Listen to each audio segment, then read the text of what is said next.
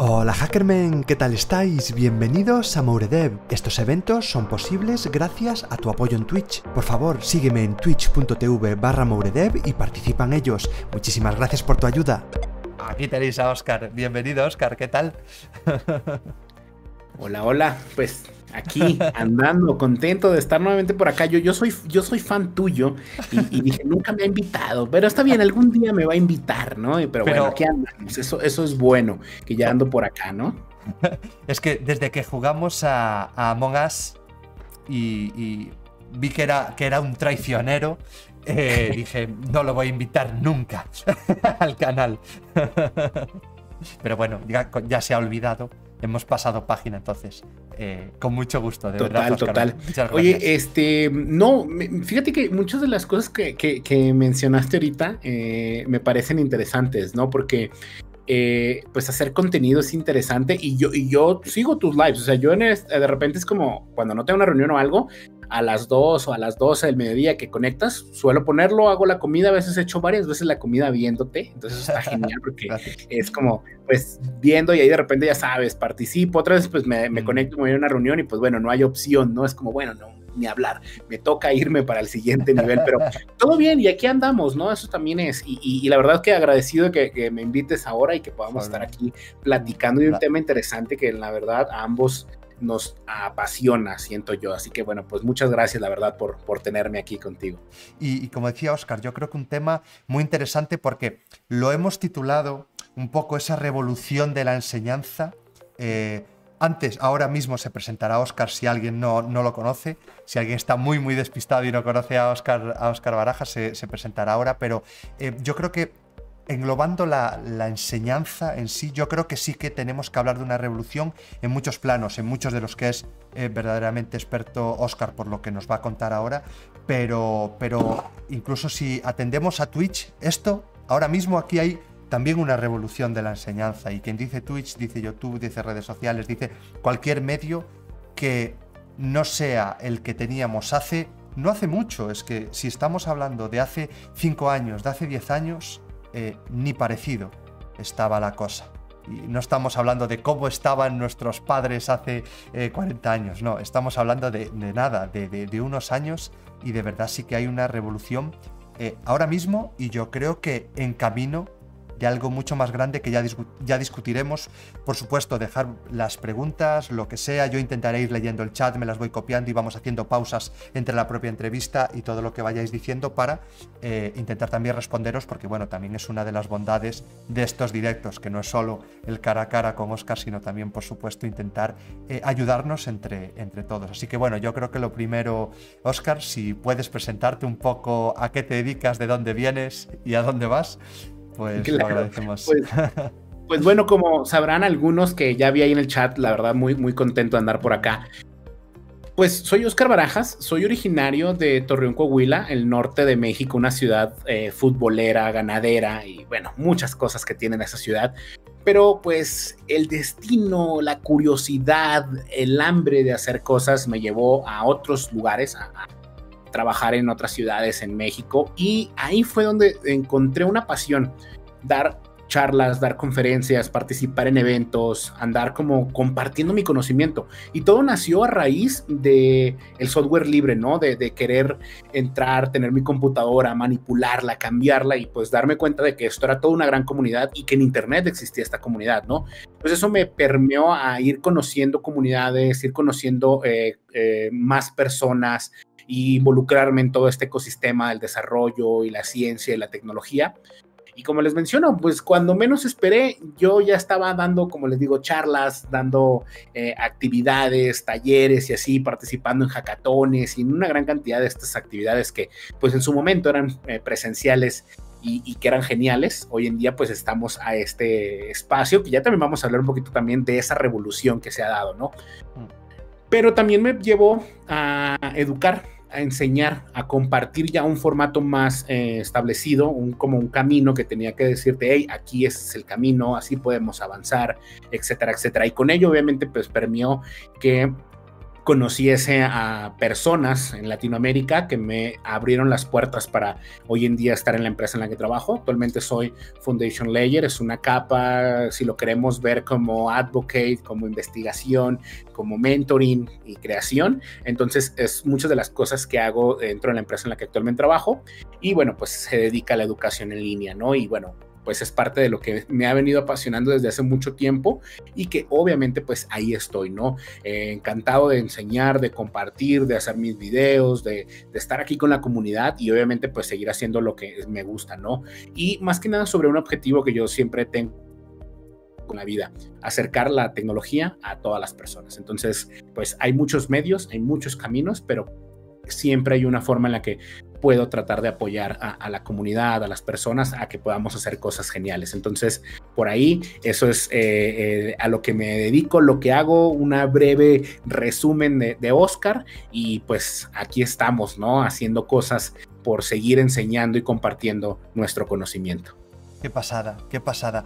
Por, centrarnos también un poco, también es algo que siempre me gusta preguntar. Eh, ¿Hace cuántos años diste tus primeros pasos? Un poco esa pequeña cronología, porque también yo creo que nos vale para, para situarnos en perspectiva de cuánto tiempo, qué implica llegar a, un punto en concreto de nuestra carrera. Mm, pues mira, eh, yo empecé muy, muy chico, la verdad, en la tecnología. O sea, mi primer página web, así, mi primer página web que dejó, que me dejó un ingreso a mí, fue en el 2001. O sea, en el año 2001. A raíz de ahí, obviamente, hice de todo, muchas cosas. Aprendí de hacer eh, X o Y, emprendí, obviamente, pero eh, los últimos eh, ocho años han sido clave para mi carrera, ya dedicándome a más a, crear cosas, a compartir cosas, que realmente eso es lo que me ha llevado a lo que yo quiero seguir haciendo, ¿no? Oscar, ¿cómo se ve en más años? Pues obviamente Advocate, eh, evangelizando con tecnologías, haciendo cosas que obviamente eh, acerquen más la tecnología, más la ciencia, más la curiosidad de los niños, de las personas a esta área, al área de la programación, al área lógica, al área que nos lleva obviamente a hacer cosas con nuestro pensamiento, con el llevado a código, llevado a, todo lo que podemos transformar y hacer con, con lo que viene siendo la programación. Dices algo muy, muy interesante que yo creo que es que, está muy relacionado también con nuestra profesión. Que ya que somos una profesión que, eh, digamos, en nuestro 90% estamos en el plano online, siempre estamos rodeados, por supuesto, de tecnología y esto ya nos implica a estar conectados, básicamente, entre nosotros. Y yo creo que somos la, la no sé, creo que es la profesión perfecta en la que todo el tema de fluir conocimiento eh, tiene mejor cabida. Entonces, por eso yo creo que también eh, somos pioneros. No digo tú o, yo, no. Digo la, profesión en sí, el desarrollo de software. Creo que somos totalmente pioneros en la parte esa precisamente de evangelizar, de compartir, de intentar eh, ayudar y en muchos casos ayudar con contenido gratuito, desinteresado. eso es muy importante. Contabas que también empezaste en temas de software libre. Uf, es que hay muchas cosas que yo creo que ya apuntaban en el, en el joven Oscar Barajas hacia, dónde, hacia dónde iba a ir. Entonces creo que es muy muy importante y como dices, esos últimos ocho años me parece mucho tiempo, eh, porque volviendo otra vez a lo que comentaba al principio, esto es un cambio bastante reciente y que yo mismo hace ocho años no tenía ni tan claro eh, que existiese formación en línea ya no formación, yo creo que formación muy poca. Eh, información, más que, más que formación. Es decir, encontrabas algunos blogs, eh, esos esas primeras personas que intentaban eh, cedernos el conocimiento, por supuesto, pero parecía que no había grandes sitios. Y cuando empezaba a haber grandes sitios, lo que sí que no había era esos, esas figuras referentes, como a día de hoy puede ser tú, que eres una persona súper activa, que siempre está intentando compartir algo, ¿no? Pero que a día de hoy sí que, sí que lo tenemos. Entonces, eh, parece que, bueno, pasaron un montón de cosas y llega el momento en el que tú dices, eh, quiero ser profesor. ¿Cómo se llega a esa idea? Porque una cosa es querer compartir. Yo soy una persona que comparto o, que lo intento. Pero en ningún momento me he planteado, aunque tenga algún curso, el decir, soy profesor o me dedico. Sobre todo, me dedico a desarrollar software para empresas, para algo propio. Y aparte, yo aún estoy en la fase de eh, comparto.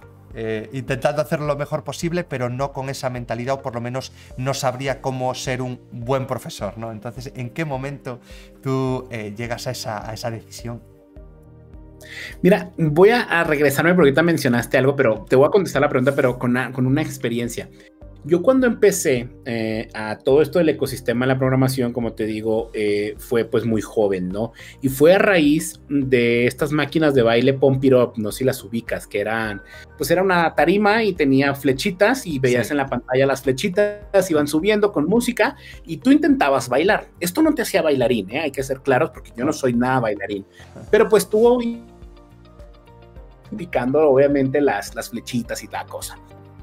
¿Qué pasó? Eh, yo soy una persona muy competitiva, ¿no? Me gusta participar, competir, hacer cosas así, ¿no? Entonces íbamos a competir en, de diferentes zonas eh, con pues estas maquinitas de baile. Y una vez fuimos a un concurso, este ya como al regional, no al nacional, no me acuerdo qué era, yo estaba muy chiquito todavía. Y el equipo contrario traía unas chaquetas, unos hoodies, con la aparte en la parte inferior que decían www. no recuerdo qué página web.tk. Y yo era como, ¿por qué mi clan no tiene eso? ¿Qué pasa? ¿Por qué? No, entonces yo estoy frustrado porque ellos tenían la página web. Obviamente, pues perdimos, no, no, no, no, no gané esa vez, eh, ni el equipo completo, ni ellos tampoco. O sea, nos fue a todos mal, pero bueno. Yo recuerdo que el día siguiente eh, corría un café internet, estaban eh, ahí, y entré, ¿no? Pues a la página y, y, que veo que los videos eran videos en 3GP, o sea, eran videos chiquititos con algunas fotos súper borrosas, una página negra con GIFs por todos lados. Después de como cinco minutos de que ya estaba viendo el contenido, lo que empezó a cargar en ese momento, empezó a sonar música. O sea, se tardó tanto en descargar la pista que tenía la página. Pero yo dije, ¿por qué yo no tengo esto? Pues levanté la mano para que me ayudaran en el café internet. Le digo, oye, ¿qué es esto? No, pues sí, las páginas web, sí, pero ¿cómo se hace? No, pues mira, eh, te lo recomiendo que eh, bajes esto, así se descarga. Me ayudó a descargar el, archivo HTML. Y mira, con este programa que estaba hoy viendo yo en la universidad, lo puedes ver. Era front page. Pues ya hizo comprar como unos 5 o 6 disquets para llevarme el front page, para llevarme la página. Y me dijo, mira, aquí encuentras la referencia. Me dio como la documentación pues eso me lo llevé a mi casa y offline empecé a aprender. Empecé a, obviamente, a jugar con la página, a moverla. Ah, mira, le pongo aquí, se quita esto. Le pongo acá, se mueve todo esto. Ese fue mi aprendizaje. E, e, ese fue mi forma en la que empecé a involucrarme en todo esto. Y era como mencionas. Hace ocho años, bueno, esto es más de hace ocho años, casi 15, 16 años esto. Mm pero era, no había lo que hoy vemos, o sea, no había una persona en un video, porque yo he visto muchos en YouTube si tú buscas aprender HTML y te encuentras, pero una, en, o sea, yo puedo decir que hay más de mil videos de creadores enseñando HTML. Y paso a paso y hasta yo creo que en, en media hora de un video aprendes, ¿no? O entiendes cómo funciona. A mí no, a mí me tocó días y días enteros entender, pero por, y, bueno, aparte era en inglés, ¿no? Entonces era como, Prueba y error, totalmente. Exacto. Entonces era, ¿por qué dice aquí esta marquesina, no? Y a ver, le quito la, ah, caray, se rompió todo. Y lo, ah, porque le pongo esto, ah, mira, IMG, ah, esto es de imagen, esto es de texto. Y empezaste, ¿no? Obviamente, pues sí, ayudado y empecé con mis disquetes a ir, cuando menos esperas en, estaba haciendo páginas web y páginas web de todo, de todo. Hice de skate, de mi escuela, de mi barrio, de mí, de todo, ¿no? Pero obviamente es entonces la educación o lo que uno conseguía con, con recursos era libros. Libro eh, de HTML y CSS para aprender. Entonces era muy todavía offline este aprendizaje, ¿no? No era como hoy en día lo estábamos viendo. Entonces eso eh, me llevó a, empezar a, querer eh, más, ¿no? Cada vez bueno, dónde busco, dónde investigo, dónde hago, qué tengo, qué tengo que traer. Y obviamente eh, pues me gustó, me gustó. Yo creo que estaba muy chico y no sabía si eso era lo que yo quería, pero me gustó, me gustó crear, me gustó innovar. Y por azares del destino iba mucho a un café internet, no el primero que, fui, y hasta me terminaron contratando así como, oiga, joven, usted se la pasa aquí, no quiere trabajar mejor. Y yo, pues encantado, ¿no? El mejor trabajo de mi vida tener internet gratis, ¿no? Y obviamente me pagaban por estar en internet. Imagínate yo chiquito, eh, contento por eso, porque era como, ¿cómo? ¿Me estás contratando para que esté aquí en el internet? Y sí, obviamente vas a cobrar, atender, pero pues sí, vas a tener internet free y yo acepto. ¿no? creo que es uno de los mejores trabajos de, mi infancia, eh, o bueno, de, adolescencia más que nada, pero sí, me llevó obviamente a, todo este, este punto, ¿no? y, creo que eso es lo que como ya creador me lleva a, decir, ok, me gusta, eh, lo entiendo. Y después empezaste a, la comunidad, ¿no? Empieza uno en la comunidad compartiendo, haciendo cosas, pero llega un punto donde dices, ok, esto transciende, ¿no? Y de repente ya me invitaban, oye Oscar, ¿cuánto me cobras? Y es como, bueno, yo lo hago gratis. Sí, pero es que esto ya soy una empresa, tengo tantos empleados y necesito que me cobres llegué a, armar, fundé una pequeña empresa que me permitía pues facturarles allá en México para ofrecer cursos y cositas así. Y ahí fue donde me dio, bueno, tengo que generar una forma de, pedagogía de contenido y a tomar la decisión de que eso era lo que me gustaba, ¿no? Que era algo que quería crear pero que también tenía que dejar de, ok, ¿cómo lo comparto? Que era pues sí, con la comunidad y gratis y todo, pero cómo lo vuelvo también una forma en la que yo puedo vivir, ¿no? Donde ya tengo que tener un formato, tengo que tener una clave para poder seguir haciendo las cosas y que esto se permita a llevarlo a compartir, ¿no? Y gradualmente lo fui haciendo mientras seguía siendo desarrollador de software, hasta que obviamente pues en la empresa que actualmente trabajo me permitió pues ya de, abrir más mis capacidades como profesional para poder dedicarme totalmente a la educación, ¿no? Y pues estoy muy contento porque eso era lo que yo quería en algún momento llegar, ¿no? Dedicarme a la enseñanza. Cuentas algo muy bonito y yo creo que más o menos todos los que somos de la misma generación eh, y nos acabamos dedicando a esto lo contamos con la misma pasión que son esos comienzos de Internet.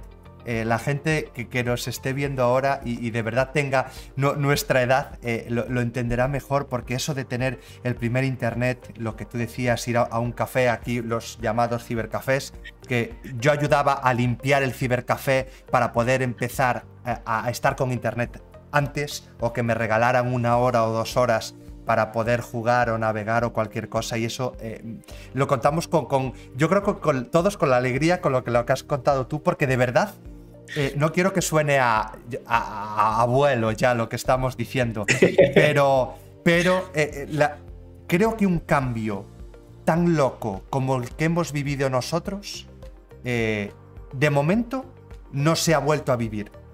Porque sí que los juegos son mejores, Internet es más rápido, hay más información, hay más no sé qué, pero eh, digamos que las nuevas generaciones ya llegan con eso rodado, ¿no? Y obviamente no se parecen nada a 10 años, pero eh, si pensamos de hace, cuando decía Oscar, hace 15, hace 20, cuando empezamos a tomar nuestros primeros pasos con Internet, ahí sí que básicamente eh, veníamos de nada. Entonces ahí eso para mí es una, es una locura y me, gusta que lo, que lo hayas contado así y, cómo las pasiones al final nos acaban eh, llevando o reconduciendo muchas veces hacia nuestra carrera profesional y como el gustarte algo y el querer algo eh, es más válido que cualquier cosa que estudies, que te digan que hagas o, cualquier otro tipo de cosa. Y es eso, al final la pasión y la vocación, que al final es como lo solemos llamar, está por encima de, de, cualquier cosa. Entonces, bueno, ya empiezan, ya empiezan a ver, ya empieza a haber preguntas. Entonces, si quieres, hacemos así un pequeño bloque con unas preguntas que, que has soltado, como ya para tampoco perder el hilo de que tú empezaste en el tema de los eventos, de que empezaste a dar charlas eh, y preguntan cómo quizás empezar en ese tipo de, de, movimientos. Hoy en día es más fácil porque ya hay muchísimas más comunidades y, es más simple meterse, meterse ahí, pero bueno, tú que estás bastante dentro de todo esto, ¿qué, recomendarías a esa gente que de verdad sí que quiere compartir? Pues mira, yo, todos los que quieren empezar, eh, siempre les digo que deben de tener a ver, no lo tengan que hacer porque van a considerar que esto te da dinero, que esto te da fama, que esto te da cosas. Si tú piensas que crear comunidad, hacer comunidad, hacer videos y todo esto te va a dar esto, estás empezando mal. Porque sí, es una consecuencia. En algún momento es probable que alguien venga y, Oscar, me gusta tu contenido, venga, te apoyo, Oscar, esto. O sea, sí, sí va, en algún momento puede que pase. Pero si tú lo haces pensando en eso, te, va a ser difícil, va a ser muy difícil porque vas a toparte con muchas cosas que nos topamos nosotros como creadores, ¿no? Pero algo que sí eh, te digo, una vez que quites ese pensamiento, ese valor, también olvídate un poquito de los números, o sea, no veas que, ay, tengo que tener, no. Yo siempre he dicho con que seamos cinco personas y tú a esas cinco personas les cambies la mentalidad o les abras el conocimiento, estás haciendo las cosas bien. Entonces, aquí teniendo ya como este eh, paréntesis de, de, cuestiones a considerar, yo lo digo es, da el primer paso. Y el primer paso es, ¿qué quieres enseñar? ¿Qué quieres compartir? ¿A dónde te quieres unir? ¿Qué quieres hacer? Oye, no, pues yo, yo estoy aprendiendo mucho JavaScript. Ok, busquemos comunidades de JavaScript, acércate a ellos y cuéntales, oye, quiero participar, quiero hacer algo, ¿no? Entonces, el primer paso es eso, querer. El segundo, eh, siempre he dicho, hay que dar ese salto de fe, porque una cosa es estar en la comunidad, como venir aquí, estar en el chat, compartir eh, y, tener como a, creadores que estamos aquí, que veo a Carlos Sauster también, o, seguir a Bryce, o seguirme a mí, bueno, sí, pero ok, eso también es parte de ser de la comunidad, pero ahora hay un como, ok, ¿quieres ser de la que consume? O de la que crea, ¿no? Entonces hay que definir esto. Y si va a ser de la que crea, hay que dar el salto de fe, animarse, abrir ese YouTube y lanzar el primer video, un Twitch, o lo que implica que vamos a ver, yo creo, más a detalle de herramientas, pero hazlo. Yo creo que el primer camino es eh, escribir.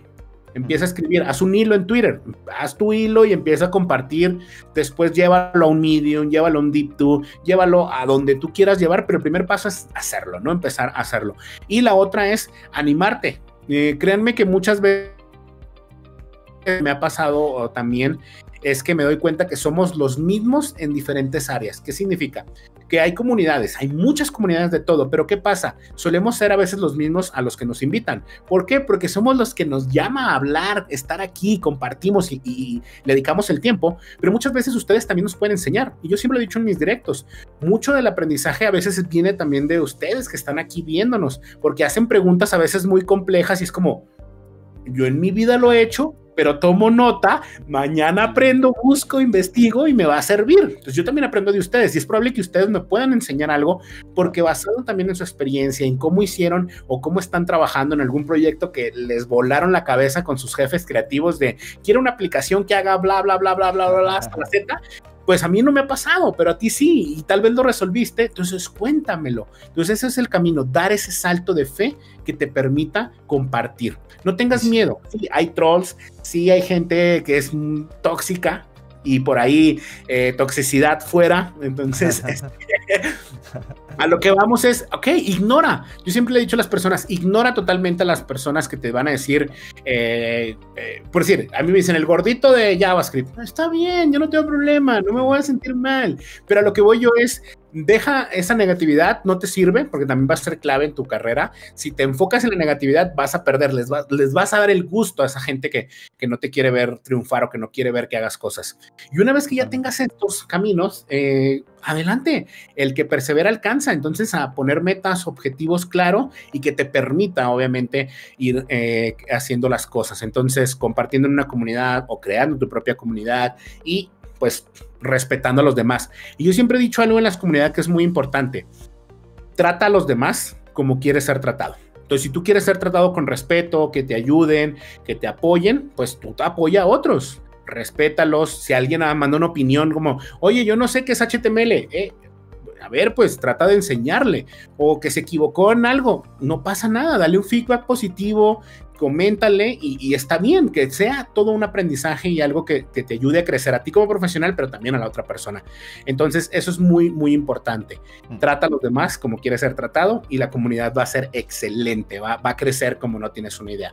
Y creo que esos son los puntos que, creo que, que son clave para poder hacer buena comunidad en el sentido de consumirla o crear, ¿no? Totalmente de acuerdo. Y, dices algo muy, muy bueno que es ese, el dar el primer paso y el salto de fe. Yo lo como lo veo eh, un poco es que no tenemos que enfocarnos esto a oye, esto es una universidad, para ser profesor de universidad tengo que eh, una oposición estar 10 años. Tranquilo, esto es una comunidad, estamos aquí para que tú nos enseñes y para nosotros enseñarte y para en conjunto aprender todos y seguir avanzando. Tú como developer que lleva eh, un mes desarrollando, tienes cosas de valor que aportar igual que Oscar que lleva trabajando 15 años o que yo que llevo otros 15. Cada uno en su plano y cada uno en su punto.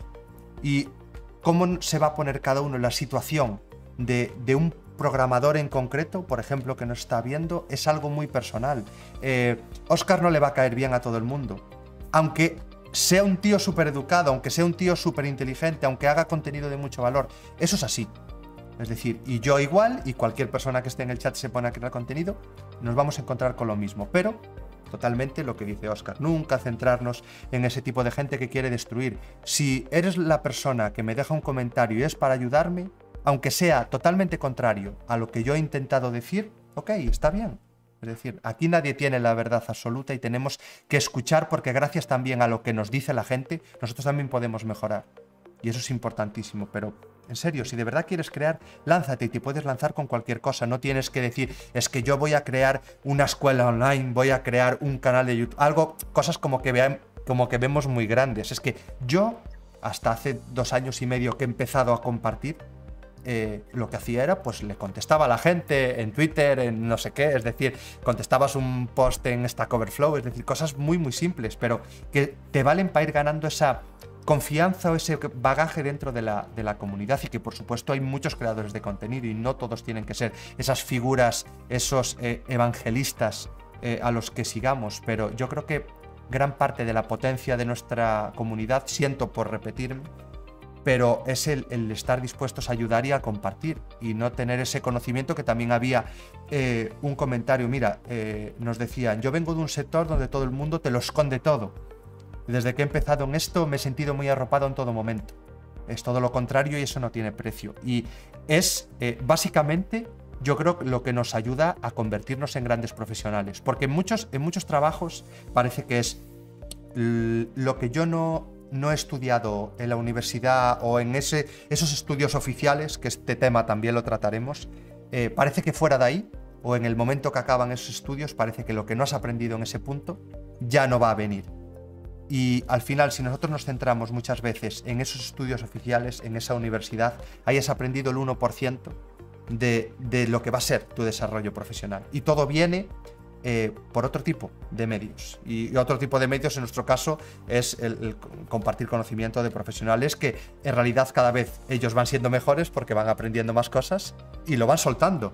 Que eso es, es muy bonito y cada vez yo creo que se está creando esa, esa cultura. Yo he llegado a estar en empresas que funcionaban al contrario, que era, parece que el, tener ese conocimiento eres como la gallina de los huevos de oro, que a mí no me pueden echar de la empresa porque soy el único que sé cómo funciona esta parte de la app. E, ese es el conocimiento, el, conocimiento más absurdo de, la historia, pero que sigue estando ahí, que por suerte cada vez se va, se va yendo. Pero bueno, eh, no tengáis, no tengáis eso, porque yo siempre que he intentado compartir algo, eh, me lo han devuelto por 10 sin más, es que siempre he salido yo, eh, siendo yo la persona que da el primer paso, si lo veis como este punto, he salido yo más beneficiado, incluso. Eh, sí, y, es algo interesante, digo, yo empecé a dar charlas eh, siempre he dado charlas gratis, yo nunca he cobrado ninguna charla. Algunas, bueno, antes era como, Oscar, pues la charla es en tal país si me pagas viáticos está bien. Y tampoco me ponía como, dame hotel, no, no te preocupes, o sea, pues págame vuelos y yo consigo un Airbnb. O sea, creo que son cosas que obviamente pues eh, siguen eh, haciendo así, ¿no? Eh, acercándolo, pero eso me permitió viajar, me permitió conocer personas, conectarme y a raíz de eso, pues hacer como una marca personal, ¿no? Que gradualmente, pues también es un beneficio, porque pues de repente te empiezan a, galardonar o te empiezan a invitar a premios o te empiezan a invitar a cada vez hacer más cosas interesantes con apoyo y, eso tiene mucho, mucho factor. Eh, pero en lo personal, como mencionas, no lo veas como un de aquí me voy a hacer rico, de aquí voy a empezar a, hacer eh, todo todo lo que yo siempre quiero en la vida sin hacer nada, ¿no? Realmente yo tengo que seguir aprendiendo cuando hago mis cursos, cuando hago mis contenidos, yo tengo que leer, tengo que investigar, tengo que hacer, y si me equivoco, reafirmar, oye, pues sí, me equivoqué y ya me pasó, ¿no? Una vez me equivoqué y me comieron en redes como no tienes una idea pero no tienes una idea, como una semana entera me estuvieron bombardeando por todos lados. Me acuerdo. está bien, Yo, acepté que me equivoqué y, di mi, mi y, hablé acerca de mi equivocación y mencioné y todo, y, todo bien, y, aprendí, que fue lo mejor de todo, le saqué algo provechoso, aprendí, compartí y volví a reafirmar que se puede hacer y que cualquiera se puede equivocar, digo, pues yo esa vez cometí ahí fue un más hater, pero bueno, no voy a entrar tanto en detalle, pero va a pasar también, va a pasar que en el momento cuando él me decía Brace, es probable que no digan, uy, no, ese no me cae bien, habla muy rápido, o sea, muchas cosas que nos pueden decir, y creo que en algún momento hemos estado compartiendo algunos creadores también cosas que es como, oye, este, ya tengo mi hater número uno, ¿no? Le acabo de lanzar un video y ya tengo los dislikes o la gente que me confunde con otra gente y así, ¿no? Y, se vuelve también parte de, todo esto que, vamos haciendo como, como creadores, ¿no? Y a lo que nos enfrentamos también. Nada, nada, hay que preocuparse. Esto es como en la vida real, es decir, aunque tú eh, seas un, poco más visible o estés más expuesto en redes o lo que sea, eh, pensarlo como algo mucho más cerrado. Es decir, por supuesto estás expuesto a todo el mundo. Y que tengáis haters, eh, en cierto punto hasta es bueno porque es que estás llegando. Vale, pero pensarlo como todo. Vosotros si os preguntan tomando un café, va a decir quiénes son importantes para ti. Y tú me dirás, oye, pues mi pareja, eh, mi hijo, mi familia, mis amigos. Pues ya está, tranquilo, síguelo viendo así. Tranquilo, hay gente que te lo va a demostrar y hay gente que te va a querer ayudar y, por supuesto, eh, hay variedad y en la variedad no todo va a ser bueno. Y eso, cuanto antes lo tengamos claro, también entiendo que es una fase por la que todos tenemos que pasar y que según con qué edad eh, o según anímicamente también como nos pillen, obviamente hay gente que le afecta más o menos. Yo he tenido suerte, soy un tío bastante pasota en ese punto, eh, me suele importar bastante poco la opinión de la gente que no conozco, sobre todo. Es decir, alguien puede ahora mismo, el presidente de España, hablar mal de mí que seguramente eh, no le dé tanta importancia como si mi, madre habla mal de mí, ¿no? Entonces, al final tenemos que tener eso en la balanza y que, bueno, no pasa nada, no pasa nada, tranquilos por eso. Y mirar, es que incluso hablando de desmotivación, eh, nos estaban comentando aquí Control de Jai. Llevo meses sin trabajo y me propuso un año para aprender Swift y lo dejo eh, por esos mismos motivos, porque hay gente tóxica que no te quiere ayudar. Desde que me metí en la comunidad de Mouredev en concreto, pero entiendo que no es solo por por lo mío me metí en cursos de Udemy, de Julio, he vuelto a las clases. Es decir, al final yo creo que eh, solo con saber que alguien te puede llegar a decir esto, a mí ya me está compensando todo. Y ahí eh, tomo todas las palabras que ha dicho Oscar, que es que nunca empieces y no empieces ninguna comunidad y no empieces a crear una empresa, no empieces a estudiar si lo único que tienes de meta fijo es el dinero. Es decir, eso no suele, suele marcar un objetivo que suele ser muy difícil de cumplir, porque el dinero, si el dinero eh, fuese fácil de conseguir, pues no pasaría, no, no, tendríamos los problemas que tenemos a nivel mundial. No, no hay más, ¿no? Entonces tenemos que verlo como, obviamente, el dinero es importante, Obviamente, también tenemos que saber qué dinero necesitamos y cuál no necesitamos, porque a veces también solo queremos dinero, dinero, dinero, y hay más cosas. Entonces, si nos planteamos otro tipo de objetivos, todo acaba llegando. Pero al final es lo que nos contaba Oscar. Oscar seguramente está aquí porque cuando eh, era un niño, hace 15 años, hace 20 años, ya le apasionaba lo que está haciendo ahora.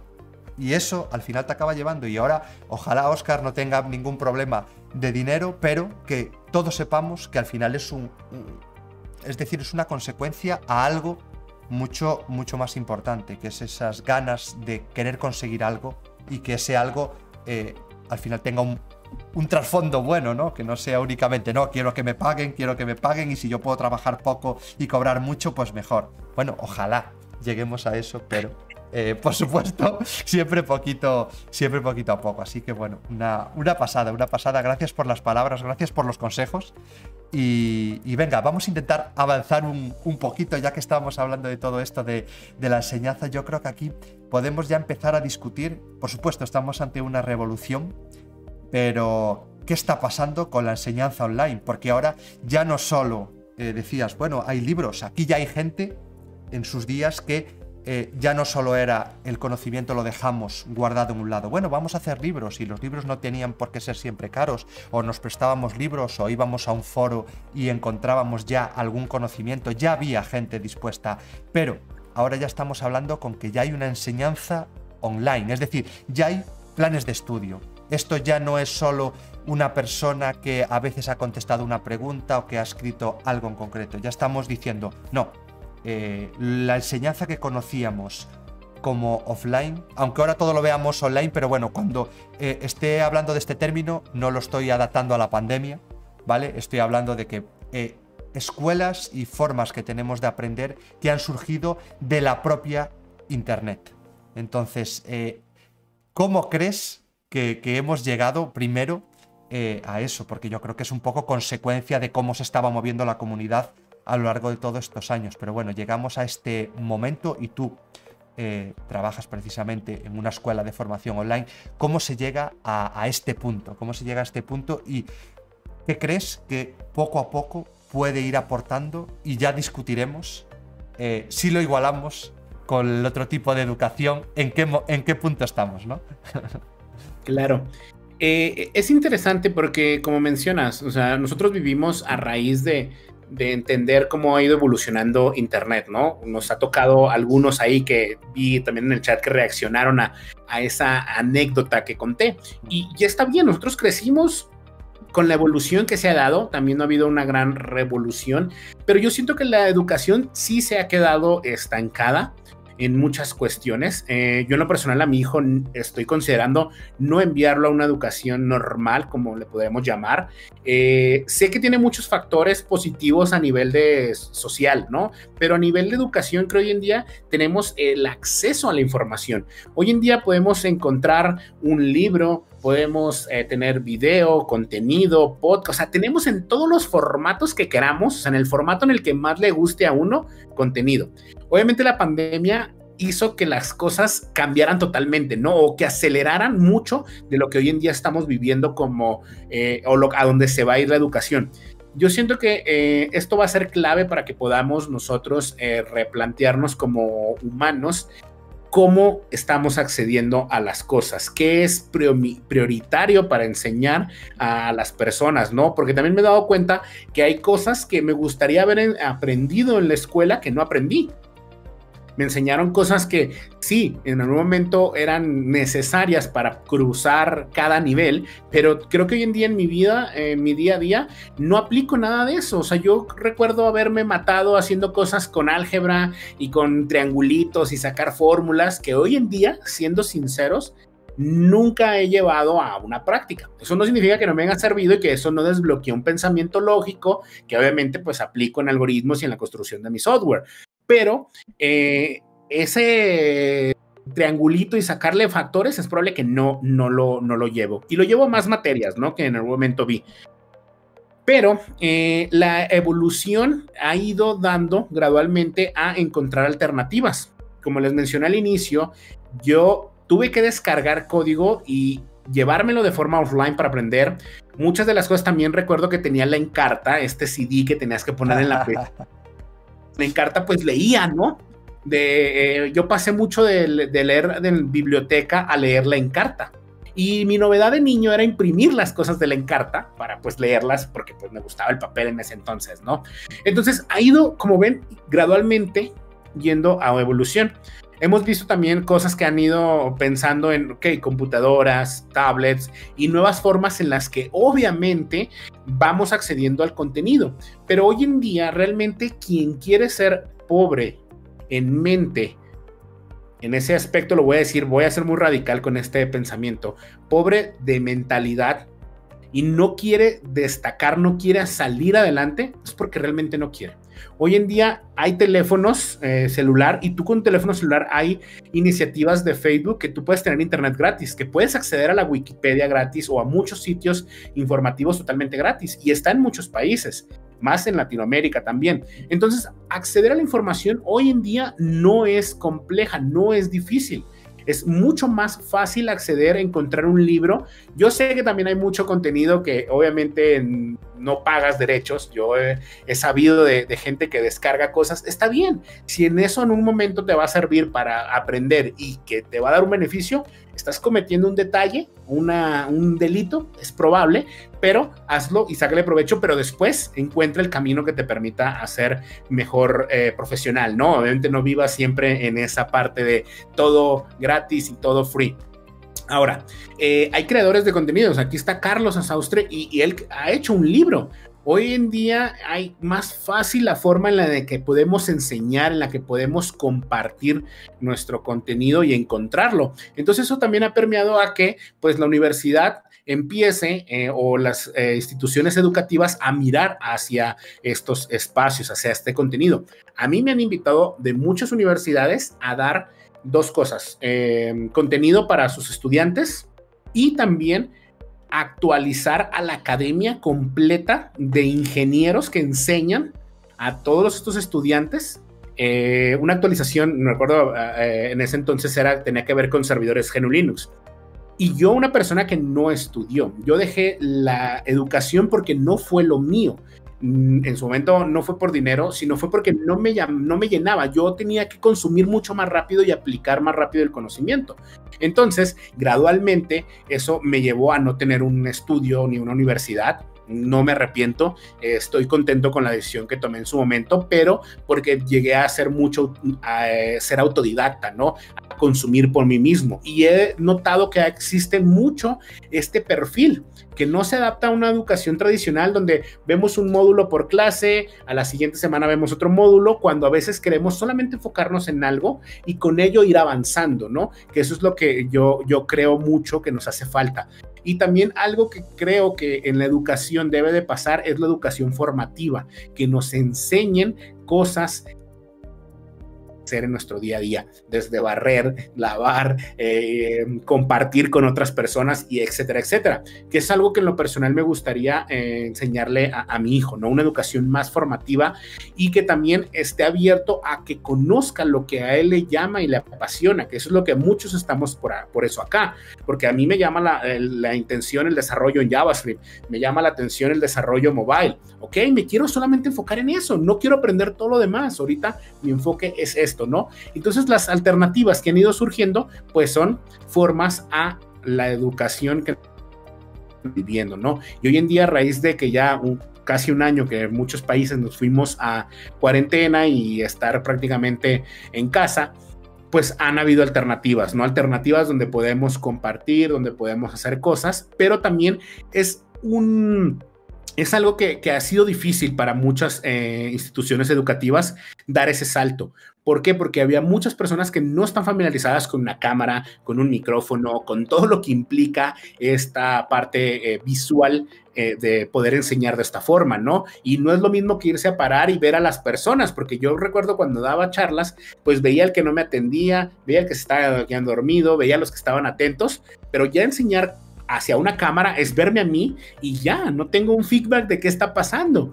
Y aparte esto puede enseñarte hoy, mañana, en un futuro, etcétera, etcétera, ¿no? Entonces esas formas son las que tenemos que evaluar eh, como profesionales para obviamente ver cómo lo podemos llevar al siguiente nivel, una formación también basada en proyectos, basadas en, objetivos, que yo también como lo menciono, que cuál es tu objetivo, quiero ser front-end developer, ok, cómo voy a ir avanzando, ¿no? Entonces gradualmente la educación sí está viviendo una revolución, creo que todavía no hay como el el camino único. Hay mucho que estamos experimentando, pero estamos viendo que hay caminos que ya están siendo clave, ¿no? ¿Cómo me especializo? ¿Cómo tengo un pad? Y cómo con ese pad voy adquiriendo conocimiento, ¿no? Y que es algo que yo he visto en mis tres años en, en Platzi, porque yo ahí he trabajado mucho con, con un, proyecto que se llamó Escuela de JavaScript, que me permitió generar una formación específica en todo lo que implica el aprendizaje de este lenguaje para llevarte a ser un mejor profesional, enfocado en ese proceso y que obviamente te lleva a cumplir un objetivo. Ser un programador con JavaScript que, te, que puede buscar obviamente un empleo, ¿no? Entonces, eso es hacia donde tenemos que irnos a, enfocar, a, cómo podemos volver a los profesionales expertos en un área para que puedan ir avanzando y obviamente puedan encontrar los empleos y puedan desenvolverse como profesionales en las áreas que estamos viviendo. Ok, totalmente. Yo creo que acabas de decir cosas totalmente claves y, que un poco derivan en algún apunte que quería hacer, que es que, por ejemplo, tú dices, yo no he seguido estudiando y yo, yo he seguido estudiando, pero eh, al final, sin de verdad saber el rumbo que estaba tomando y cuál era el cometido verdadero de por qué yo estaba estudiando. ¿Vale? Que yo creo que es un problema muy grande. Es decir, nos tiramos, ya no voy a entrar ni en la universidad, porque eso es algo que ya hacemos ya de adultos, digamos pero eh, pasamos demasiados años en la escuela. Aquí en España la escolarización comienza en los tres años, en los cuatro años, vamos a estar hasta los 16 años, que después nos vamos al instituto dos años y después universidad a los, bueno, universidad lo que sea, pero bueno, que acabamos eh, ese, ciclo de estudio. Eh, nos tiramos estudiando 14 años. Nos tiramos estudiando 14 años para que en 12 de esos 14 años nadie se interese de verdad por qué eh, o cuál es el pensamiento que nosotros vamos ganando, porque obviamente nosotros vamos viviendo de muchas fuentes a lo largo de nuestra vida. Y cada persona, eh, yo estoy seguro que hay una metodología y hay una forma de determinar cuáles son las pasiones y cómo fomentar esas pasiones. Y es algo que nunca se, se hace caso. Y no podemos estar pensando yo también me voy a poner un poco radical porque sí que estoy totalmente de acuerdo con lo que, con lo que dijo Oscar. Por supuesto, hay muchos factores laterales que podemos tener en cuenta, pero bueno, siendo así un poquito más, un poquito más directos, yo creo que es, complejo el, ver de verdad cómo, cómo las instituciones no están haciendo fuerza y cómo podemos pensar que la sociedad ha ido evolucionando. El conocimiento que hay ahora eh, es mucho mayor al que había hace 100 años. Y el que había hace 100 años muy superior al que había 200. Y no podemos seguir intentando aprender o enseñar en la escuela lo mismo que le enseñaron a nuestros padres, lo mismo que le enseñaron a nuestros abuelos en muchos casos, porque al final no se trata, no se trata de eso, se trata de ir adaptando a de verdad a lo que nos vamos a encontrar. Yo siempre pongo el ejemplo estúpido de la tabla de sumar de que nos enseñan a sumar y existe una calculadora. Vale, es estúpido porque, como bien decía Oscar, eso desbloquea un tipo de pensamiento y, por supuesto hay mucho más detrás de eso. Pero por decir algo muy muy simple comparado con todo lo que nos repetimos año tras año, año tras año, en vez de empezar a enfocarlo. Y en vez de... Eh, es muy fácil y al final ese trabajo parece que la lástima es que tiene que desenfocar o, o tiene que enfocarse en, el propio, en los propios padres que tienen que decir, oye, pues mira, como, como Oscar, que digas que yo a mi hijo puede que lo lleve por otro camino, pero porque sabes que existe ese camino. Pero muchos padres no saben que existe ese camino, o no se lo pueden permitir, o no pueden acceder a él, o lo que sea. Pero sí que, tienen, sí que tenemos que dejar muy claro que a día de hoy esos mecanismos existen. Y es precisamente en gran parte en lo que trabaja, en lo que trabaja Oscar, en dar esas posibilidades en muchos casos a quien no las tiene y en muchos casos mejorando la propia oferta que está lanzando el mercado a la calle, que es, mira, tú tienes que hacer esto y lo tienes que hacer de esta manera. Eh, yo nunca voy a decir que la universidad es inútil, pero que no tiene por qué ser para todo el mundo. ¿Vale? Es decir, hay muchas formas de pensar y obviamente hay gente que ya directamente quiere ser formador y está estudiando la universidad para quedarse en la universidad y seguir formando la universidad. Ok, respetable yo no, no puedo con eso, pero es mi forma, es mi forma, es mi forma de pensar, eh, nada más. No, no, no quiere decir que, sea cátedra de nada, pero eh, simplemente si tú tienes una idea, si somos capaces de detectar eso, ¿por qué no lo vamos a potenciar?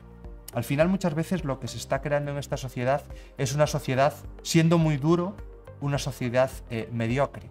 Y una sociedad mediocre no porque cada vez seamos más tontos, cada vez seamos más vagos, no, es porque es una sociedad que en realidad no eh, nos ayudamos entre nosotros mismos para que de verdad podamos seguir hacia adelante y, destaquemos y sepamos que tenemos posibilidades y que lo que nos espera al final de los estudios no es voy a tener un trabajo mal pagado, echando muchas horas y, a ver qué hago con mi vida. Eso es muchas veces lo que tenemos en mente y entonces normal que con ese objetivo en la vida eh, no tengamos ganas de estudiar, no tengamos ganas de trabajar, eh, tampoco nos interesemos por mejorar, porque en realidad nos ofrecen eso. Pero si tenemos claro antes eh, a dónde podemos llegar y de verdad toda esa gente que nos rodea es capaz de potenciar eso, yo creo que podemos llegar muy muy lejos y yo creo que ahí es donde está la verdadera revolución de la enseñanza online de escuelas como, como Platzi que nombraba, que nombraba Oscar, o, o yo creo que ya generalizando lo que estamos haciendo ahora. Creo que, puede, creo que puede aportar algo y creo que eso muchas veces los estudios oficiales y las entidades oficiales no se enfocan y cuando se enfocan, se enfocan tarde y, y mal. Es decir, ahora todo el mundo está dando clases, pero si tú, tu plan de formación no era bueno, presencial, dudo mucho que ahora online sea bueno o mejor, porque si yo antes, estando en tus clases como profesor, yo si pudiera me echaría a dormir, ahora que estoy en mi casa a través de una cámara, pues directamente lo voy a hacer. Eh, tú no me vas a ver, me voy a echar a dormir, se acabó. Y entonces, digamos que yo creo que esto puede ser un buen punto, porque puede ser un buen, un buen punto en un futuro, pero creo que en, este futuro inmediato eh, no creo que esté resultando bien, o por lo menos esa es la sensación que me da, que me da a mí. Sí, y, no, y hay algo que hay que mencionar, nosotros no estamos en contra de las universidades, o sea, yo en lo personal creo que si hubiera sido distinto la forma en la que yo estaba aprendiendo en su entonces, con un formato más a retos o, llevarme a mi siguiente nivel como yo lo quería, pues hubiera amado estar en la, en la escuela. Más, yo a un momento me arrepentí de no terminar porque me ofrecieron dar clases pero para dar clases en una universidad en México tienes que tener mínimo una maestría. ¿Por qué? Pues porque tienes que tener o validar que tú sabes. Y sí, el conocimiento yo lo tenía y la clase que iba a dar me, me, motivaba porque tenía que ver con desarrollo web. Y para mí ya me veía enseñándoles todas las tecnologías modernas, ¿no? Pero, a ver, Oscar, no tienes ni siquiera la universidad y ni siquiera una maestría, entonces no es probable. Sí me contrataron como para apoyarlos en algunas cosas, pero nunca pude pues ser directamente planta. Pero yo no estoy en contra de la universidad, yo creo que hay muchas cosas que en la universidad te van a dar, como esta parte social, eh, compartir, networking, eh, oportunidades, porque si tú quieres aplicar a empresas como Google o Microsoft haciendo un internship, pues que estés en la universidad es clave. A veces también la universidad para algunas trámites legales en otros países, cuando tú pienses que quieres ir a trabajar a Estados Unidos o a algún otro país, es probable que te pidan tu universidad terminada, porque eso valida que eres un profesional. Entonces, hay muchos pros también a nivel de la universidad, pero también como mencionas, creo que la universidad muchas universidades a nivel de Latinoamérica y o hispanohablantes no han dado ese salto de, cambio que les permita ir también al día, ¿no? Yo hasta ahorita, o sea, yo conocí el desarrollo mobile hace como unos ocho años y hasta ahorita he visto algunas eh, universidades que están aplicando ya el conocimiento, pero todavía que era con, eh, con Objective-C. O sea, Objective-C, o sea, estamos hablando que ya hay Swift, entonces, como, ¿por qué están un paso atrás? ¿Por qué no pueden ir un paso adelante? O sea, yo creo que también tiene que ver mucho con procesos, con organización, La burocracia, con personas en medio, está bien, pero creo que deben de quitar esa, esa pequeña barrera y pensar más en qué está pasando ahorita ¿Cómo podemos pensar en cinco años para que eso sea más provechoso, ¿no? Y gradualmente apoyarnos de todo lo que implica eh, la tecnología, ¿no? Plataformas, recursos, comunidad, etcétera, etcétera, que le den realmente valor a, los estudiantes. Este, yo sí quiero que mi hijo estudie en una universidad, pero pues esperando que en 20 años, cuando le toque llegar allá, pues cambie todo esto, ¿no? Y que nosotros que estamos creando cosas seamos los que hicimos que esas cosas realmente llegasen a cambiar, ¿no? Que, que las universidades y las instituciones educativas miren más a tener a un Mauredev impartiendo una cátedra, porque Mauredev podría enseñar muy, muy bien todo lo que sería el desarrollo mobile y sería una asignatura que muchos de nosotros acá quisiéramos tener en la universidad, ¿no? Un Carlos Asaustre enseñarme JavaScript, sería, ¿dónde me inscribo en esa universidad? Pero bueno, hay protocolos, hay procesos, pero creo que hay formas en las que sí se puede sacar provecho de lo que ya estamos haciendo nosotros para que la universidad le dé mucho más valor a lo que viene siendo sus estudiantes, ¿no? Entonces creo que por allá va, estamos todavía como que descubriendo cómo lo vamos a hacer, pero vamos a encontrar un nuevo camino. Y esa revolución está sucediendo a raíz de la pandemia. porque pues no pudo haber pasado así hasta ahora, ¿no? Y hay algo interesante que, que quiero mencionar. Yo sé que había programas en Latinoamérica de enseñanza por medio de radio, que llegaban a muchas personas que no tienen acceso. Hoy en día poder llegar a zonas rurales con contenido, o sea, que, que una persona de una zona rural llegue a ver un video mío de, o de Mauredev o de algún creador de contenido, es poquito complejo porque pues tienen que tener acceso a un dispositivo móvil, aparte tener internet, etcétera, etcétera, y se vuelve más complejo. Pero la radio había sido una forma que lo habían logrado para hacer este tipo de contenido. Entonces creo que hay formas y he visto algunas iniciativas de crear un banco de, información offline que se lleva a, todos estos lugares. Entonces creo que todavía hay mucho también que hacer a nivel eh, gobierno, y aquí también meto al gobierno, porque ellos tendrían que crear iniciativas como esto de educación por medio de radio, educación o lugares, acceso a cierta información para que obviamente llevemos la educación a más personas, ¿no? A más personas que lo necesitan, porque obviamente nuestro mundo va cambiando y tenemos que hacer accesible la información, a pesar de que hay muchas alternativas hoy en día en las cuales podemos nosotros, este, tomar la decisión de aprender, ¿no? Desde contenido gratuito, contenido pago, contenido de todo tipo, porque hay de todo tipo. Sí. Y, hoy en día es tan fácil entre comillas, es decir, salvando mucho las distancias, pero eh, hace años, cuando querían difundir conocimiento, al final, como mucho, ¿qué hacían? Pues una enciclopedia, lo que tú hablabas del Encarta, la, familia que podía eh, enseñar a sus hijos o, a otros integrantes, al final era porque tenía una enciclopedia o se regalaba un libro. Hoy en día, algo tan simple como hacer llegar un ordenador, y yo también meto al gobierno por el medio, eh, no seamos hipócritas, el poner un ordenador en casa de cada familia de un país para eh, la economía de un país es una risa. Es decir, eso no implica nada y tendría que haber ayudas. Internet no puede costar lo que está costando ahora, no puede haber zonas inaccesibles, no puede haber gente que no tenga un ordenador en su casa. Nos estaban diciendo por aquí. Yo empecé a programar y no tenía PC. Veía contenido en YouTube y lo escribía en código en papel.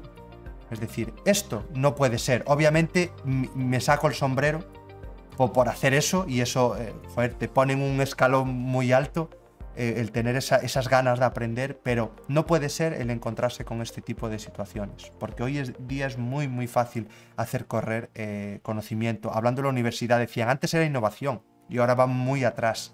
Es que ahí es donde está el punto. Es decir, la informática por suerte o por desgracia es un campo, un campo que cambia rapidísimo. No me quiero meter donde no me llaman, pero yo entiendo que quizás eh, las matemáticas puras, una carrera de matemáticas que ahora ya están programando, porque al final hay otras salidas, y con cuánta gente eh, nos hemos encontrado estudiando matemáticas que ha acabado trabajando en la programación, ¿no? Porque al final también es un campo que tampoco es que tenga tanto trabajo como, como el nuestro. Pero yo entiendo que puede haber ciertas carreras que ese plan formativo no tenga que ser tan variable. Pero lo que no podemos hacer es que en la informática de verdad nos encontremos con la universidad, o muchos los decís por aquí, es que yo estoy haciendo aplicaciones y me están enseñando, eh, vale, es decir, hay cosas que te tienen que enseñar y hay cosas que por supuesto no le vamos a encontrar una aplicación directa, pero sí que nos va a valer para, para ir ganando un poco de, de visión de dónde nos estamos metiendo. Obviamente que nos enseñen en la universidad cómo funciona un autómata, no vamos a programar autómatas o, no es fácil que lo acabemos haciendo, pero bueno, vale, pero no me centres eh, un semestre o un cuatrimestre hablando de eso. Entiendo que, esté bien, entiendo que le des eh, esa visión, que sepamos que existen, pero no desaproveches el tiempo y no desaproveches el tiempo de un estudio que vayamos a lo, a lo principal, eh, ok, universidad, parece que le estamos dando aquí algún palo. Yo estoy en la misma posición que Oscar, no, no, no les quito ningún mérito y no creo que sea algo innecesario, pero estamos hablando de que la universidad es un estudio caro. Aquí ya no estamos hablando de que es una opción más, que yo puedo estudiar en la universidad o puedo ver vídeos de YouTube. No, ver vídeos de YouTube es gratis, estudiar en Platzi es barato, la universidad es caro. Por lo menos aquí es caro, aunque sea la universidad pública, te va a implicar a irte a otra ciudad, a tener que alquilar un piso, tener que comer, tener que pagarte tus estudios, tu matrícula, si quieres volver a casa a ver a tu familia, pagarte sus viajes. Es decir, no todas las familias se pueden em, permitir eso. ¿vale? Con todo lo que eso conlleva. Entonces, si de verdad estamos hablando de que son unos estudios muy caros, eh, bueno, tendremos que estar a la altura de las consecuencias. Si yo de verdad voy a, invertir 20.000 euros en estudiar, eh, tendré que tener un retorno, o por lo menos viable de esos 20.000 euros. No puede ser que al final yo estudie de forma autodidacta o que yo estudie en una escuela online que me va a eh, cobrar mucho menos y ya no es que me salga más barato, es que yo en algunas cosas hasta salga mejor preparado. Yo creo que ahí es donde está eh, lo, peor. Es decir, si pudiéramos elegir diversos caminos y todos con esa misma igualdad de condiciones, pero lo que no puede ser es que no quiero, es decir, me, centro en Platzi porque al final es donde tú trabajas, pero no puede ser que yo vaya a Platzi me metan un plan anual que vale, no sé, 200, 300 dólares, me meta a la universidad que tengo que estar pagando al año eh, 1.000 euros o 2.000 de matrícula, más estar viviendo en una ciudad que van a ser 5.000 o 6.000 dólares, 7.000, ya no vamos a hablar de ciudades grandes, y al final eh, todo depende, por supuesto, de nosotros mismos. Yo puedo ir a la universidad y mirar para el aire, o yo puedo darme de alta en Platzi, poner los vídeos de Oscar y ponerme a jugar a la Switch, por supuesto. Pero a igualdad de estudios y decir, yo me lo voy a tomar en serio, yo voy a estudiar, yo voy a practicar, eh, ¿salimos igual? No puede ser. Es decir, yo creo que ahí es donde la universidad es donde más está perdiendo la credibilidad. Ya no solo que esté más atrás o más adelante, porque bueno, yo creo que eso puede ser discutible porque sí que nos enseñan cosas que nos pueden dar en un sitio sí, en otro no, ok. Pero eh, el dinero al final está ahí siempre presente y es lo que nos, nos echa para atrás. Entonces, de verdad, si yo voy a pagar, esto es como todo, si yo voy a pagar por un Ferrari, yo tengo un Ferrari en la puerta. Si no, tendría un Ford. ¿Vale? Pues muy bien. Pues yo creo que si de verdad voy a pagar, pues que venga eh, proporcional a lo que yo también estoy pagando. No que al final estemos todos en la misma línea de salida. Y ahí es donde yo lo veo peor a día de hoy. Sí, ahora también hay que hacer claros que hay universidades gratuitas. Yo sé que obviamente de gobierno apoya y todo, pero pues también, o sea, son opciones que tú tienes y si también las complementas, pues van a hacerte eh, crecer como profesional. Entonces siempre busca tú que te lleve obviamente a hacerlo. Si eso es la universidad, porque tienes un objetivo claro, adelante, o sea, nadie te está ni te va a juzgar, pero también si de ahí vas a encontrar contenido de otros adelante, qué bien, estás cambiando eh, el conocimiento. Y yo creo que, como te decía, va a pasar, eh, Maure, porque en algún momento mi hijo va a tener una formación o nuestros hijos que aprendimos aquí en Twitch, aprendimos en YouTube muchas cosas o ya también de otros recursos que encontramos, pues yo se lo voy a transmitir también a mi hijo. Yo voy a querer que él aprenda, que vea contenido, que esté eh, experimentando y obviamente eso gradualmente va a ir cambiando la mentalidad de generación en generación hasta que obviamente encontremos un punto donde el conocimiento va a ser mucho más accesible, mucho más fácil y que obviamente podamos acercar la tecnología y todo lo que nos nosotros ya vivimos o tenemos hasta otras personas que no tienen acceso, como decían hace rato en el chat. Hay localidades que ni luz tienen y pues es difícil también una computadora llevárselas, ¿no? O llevarles este conocimiento. Pero fíjate que hay algo interesante. Recientemente eh, hay una noticia de que El Salvador, eh, parte de Latinoamérica, ha invertido en computadoras, o sea, ya no es tablets, o sea, computadoras personales para cada eh, niño que esté, creo que primaria, secundaria, así, o sea, en formación media, para que puedan aprender y aparte también aprender inglés y que puedan tener formativa de programación. Entonces yo diría que la programación deberíamos de llevarlo como una materia así como matemática, español o como inglés. Deberíamos de llevar una materia a tener este pensamiento porque no significa que todos vamos a ser programadores, sino que vamos a tener un pensamiento lógico y eso nos va a hacer mucho mejor personas. ¿Para qué? Para que en el futuro de la humanidad esté más valorada la ciencia, esté más valorada eh, eh, la innovación que otras cosas. Y no quiero entrar en un detalle de conflicto con deportes, pero yo sé que deportes como el fútbol tienen mucho más apoyo que la educación porque sí, pues, hay que entretenernos y todo, y no estoy en contra de ellos, pero a veces la balanza es un poco distinta. Entonces, si llevamos un pensamiento más de, oye, quiero ver peleas de robots que construimos, no sé si has visto estas peleas donde eh, universidades construyen robots y los ponen a competir. Me gustaría a mí ver más de ese tipo de competencias, que, que, lo personal me entretiene viendo videos de YouTube de cómo arman y, se ingenian. Y todo eso es ciencia y tecnología aplicada, ¿no? Física ahí. Entonces, si podemos llevar más a eso, al pensamiento de la población, va a ser genial que en unos 15, 20 años estemos hablando totalmente de la cosas, las cosas cómo cambiaron la forma en la que aprendemos y queremos obviamente seguir eh, creando cosas como, como humanidad más que nada, no como un creador, sino como humanidad. Mm, es, que ahí hablamos siempre, eh, yo creo que ahí un poco ese es el problema, el sistema educativo de cómo le cuesta un poco dar esos pasos. Entiendo que obviamente eh, yo en mi canal pongo el vídeo que me da la gana y no tengo que discutirlo como mucho. Llego aquí y digo, ¿os parece bien? Sí, ok, vamos. Ya está. Entiendo que no es simple y yo no soy la persona que tenga la capacidad ni el conocimiento como para saber cuál sería la mejor forma. Pero eh, el razonamiento que está dando Oscar eh, es, así, no tiene más porque igual que cuando estudiamos matemáticas, igual que cuando estudiamos filosofía, no quiere decir que yo vaya a ser un matemático, que yo vaya a ser un filósofo. Simplemente son diferentes asignaturas que nos ayudan a formarnos como humanos, sin más, es decir, que nuestro pensamiento eh, sea más inteligente. Y, por supuesto tenemos que conocer de muchas áreas para, para formarnos culturalmente. Y yo creo que la programación y seguramente otro tipo de estudios sean básicos. Hablaba Oscar, es que fregar, limpiar, ¿por qué no? Es que por supuesto que sí, es decir, ¿por qué una persona eh, no tiene que, tiene que saber cómo ir a hacer la compra?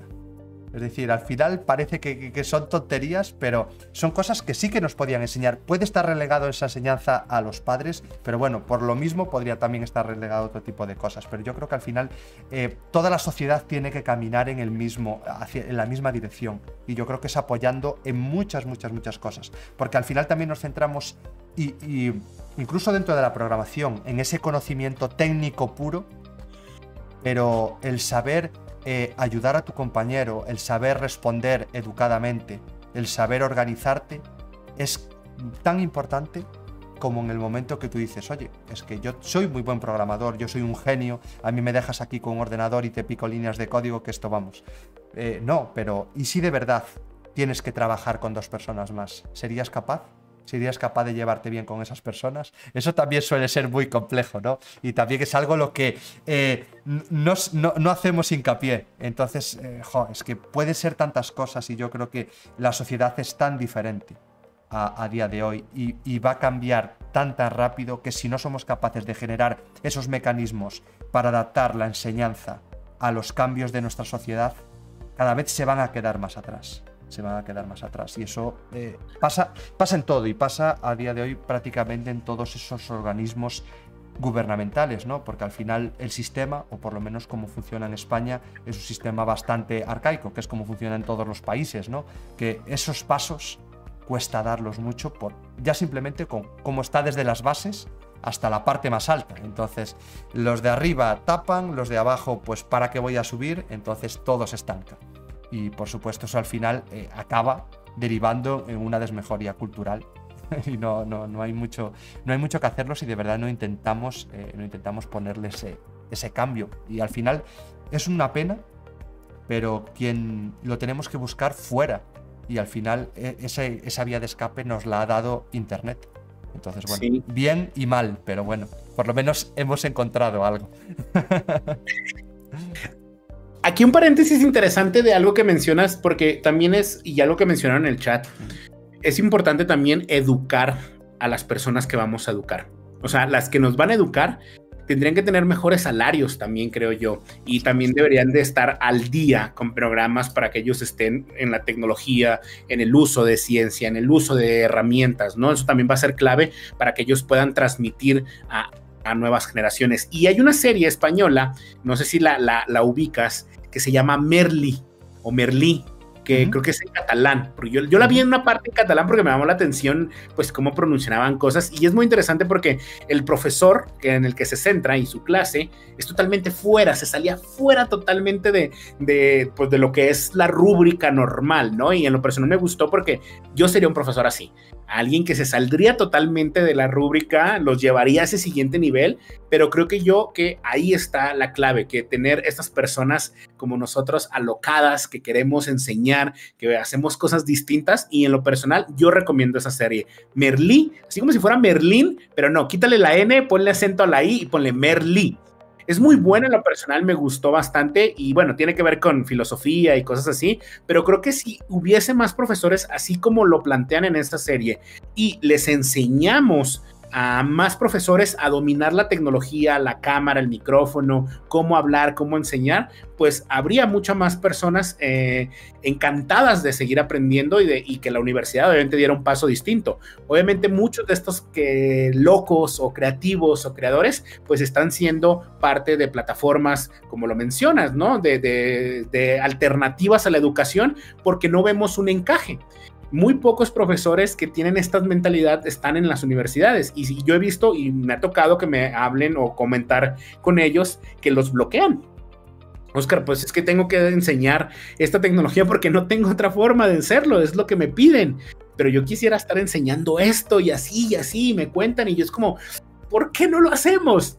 Y dónde buscan alternativas, ¿no? Escribir un libro, abrir un canal de YouTube, eh, o últimamente por TikTok he visto también personas que enseñan cosas geniales y son alternativas, obviamente, a lo que estamos viviendo hoy en día en cuestión de la educación, ¿no? Entonces eso también es muy importante, apoyar a los profesores, eh, apoyar a que puedan a sacarle mayor provecho a la tecnología y a todo esto que estamos teniendo. Me gustaría ver más profesores de universidad o profesores que estén a cátedra o que estén enseñando aquí en Twitch.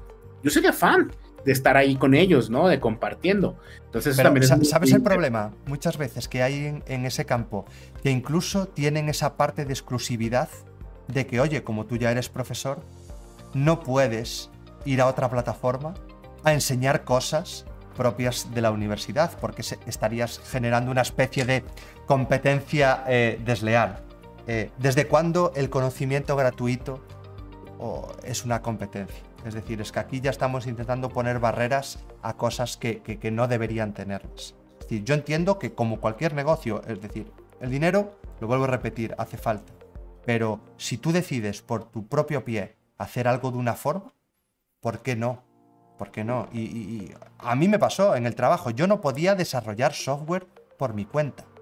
Yo como persona física, cuando yo trabajaba en una empresa de 600.000 empleados, ¿Qué competencia le va a hacer Bryce Moure a una multinacional de 600.000 empleados por hacer un, juego? No, y, lo, hice sin que se enteraran. Porque, y al final, ¿qué forma es esa? De, es lo que tú dices, se está bloqueando, se está cortando. Y como mecanismo, eh, al final de conservar ese conocimiento opaco, igualdarlo, y da igual que sea eh, una empresa privada que, en una universidad eh, pública. esa concepción es errónea de todas, todas y no podemos, no podemos conservarla. Em, avanzando un poquito más, nos decían, vale, ya tenemos esas opciones, a día de hoy eso es una realidad y es innegable, pero ¿hasta qué punto si yo llego a una empresa con... Yo he estudiado, a mí me ha enseñado Oscar Barajas, o me ha enseñado Mouredev, hasta qué punto le podemos firmar un papel a esa gente y decir, oye, mira lo que tengo. Y te pueden decir, vale, muy bien. ¿Y tu carrera dónde está? ¿Hasta qué punto eh, tienen validez o tienen importancia? Yo creo que esas formas que tenemos más de estudiar, vamos a llamarle online o autodidacta, pero bueno, fuera de los mecanismos oficiales de estudio de un país hasta qué punto tienen validez en el, día de hoy o de verdad son importantes por los propios recruiter o, la empresa en sí. Fíjate que es una buena pregunta porque todavía está dividido eh, este punto, ¿no? Últimamente más empresas de tecnología están apostando en que, ok, no tienes universidad, no tienes un papel, no pasa nada. Tienes conocimientos, tienes portafolio, tienes cosas que has creado, sí, ven. Y, y eso también tiene mucho valor. Como les decía, yo no tengo la universidad y yo ahorita trabajo en una empresa donde enseño. Y eso no fue como clave, Oscar, tienes que tener una maestría en pedagogía, ¿no? Pues me he formado, hay procesos que me, permitieron eh, aprender para poder también eh, compartir, ¿no? Y bueno, también la experiencia ha sido clave. Pero sí hay puntos donde, como lo decía anteriormente, la universidad te va a desbloquear cosas como poder ir a trabajar a Estados Unidos. Si una persona quiere trabajar a Estados Unidos, una de las primeras cosas que te va a pedir es tu eh, papel que diga que terminaste la universidad. Eso sí o sí va a pasar. Y hay más países, ¿no? Hago el ejemplo de Estados Unidos por Silicon Valley y estas empresas. Pero eh, cada vez eh, estas reglas que se están pidiendo se están acortando desarrollo, con programación. ¿Por qué? Porque un doctor, y hay que ser claros, por más que aprenda empíricamente y por más que aprenda a abrir un cuerpo y, recetar y todo, pues no va a tener la validez que le va a dar una universidad. Entonces hay casos muy eh, hipotéticos donde va a funcionar, pero a nivel de tecnología, sí o sí, tú puedes a cualquier empleo, a cualquier puesto, sin tener un título universitario. Entonces eso también hay que tenerlo presente. Y bueno, lo que aprendes en YouTube con Mauredel, lo que aprendes conmigo, lo que aprendes en un libro, lo que aprendes en una plataforma, pues todo eso es un conocimiento que al fin de cuentas lo vas a llevar tú a un siguiente nivel. ¿Y cuál es ese siguiente nivel? Aplicarlo. Yo siempre he dicho que nada sirve ver 20 videos de Mauredev explicando cómo hacer una app o 20 videos míos explicando cómo hacer una aplicación en, en web si no lo aplicas. ¿Por qué? Porque cuando tú aplicas ese conocimiento queda en ti. Y una vez que queda en ti, pues tienes el, decir, mira, aquí está un proyecto, aquí está una app. Ahora también llévalo a siguiente nivel. Intenta que esa app genere algún ingreso con la publicidad que le puedas poner o la suscripción que puedas vender con, tu, con, con, lo que creaste o hacer una aplicación que te permita hacer un servicio.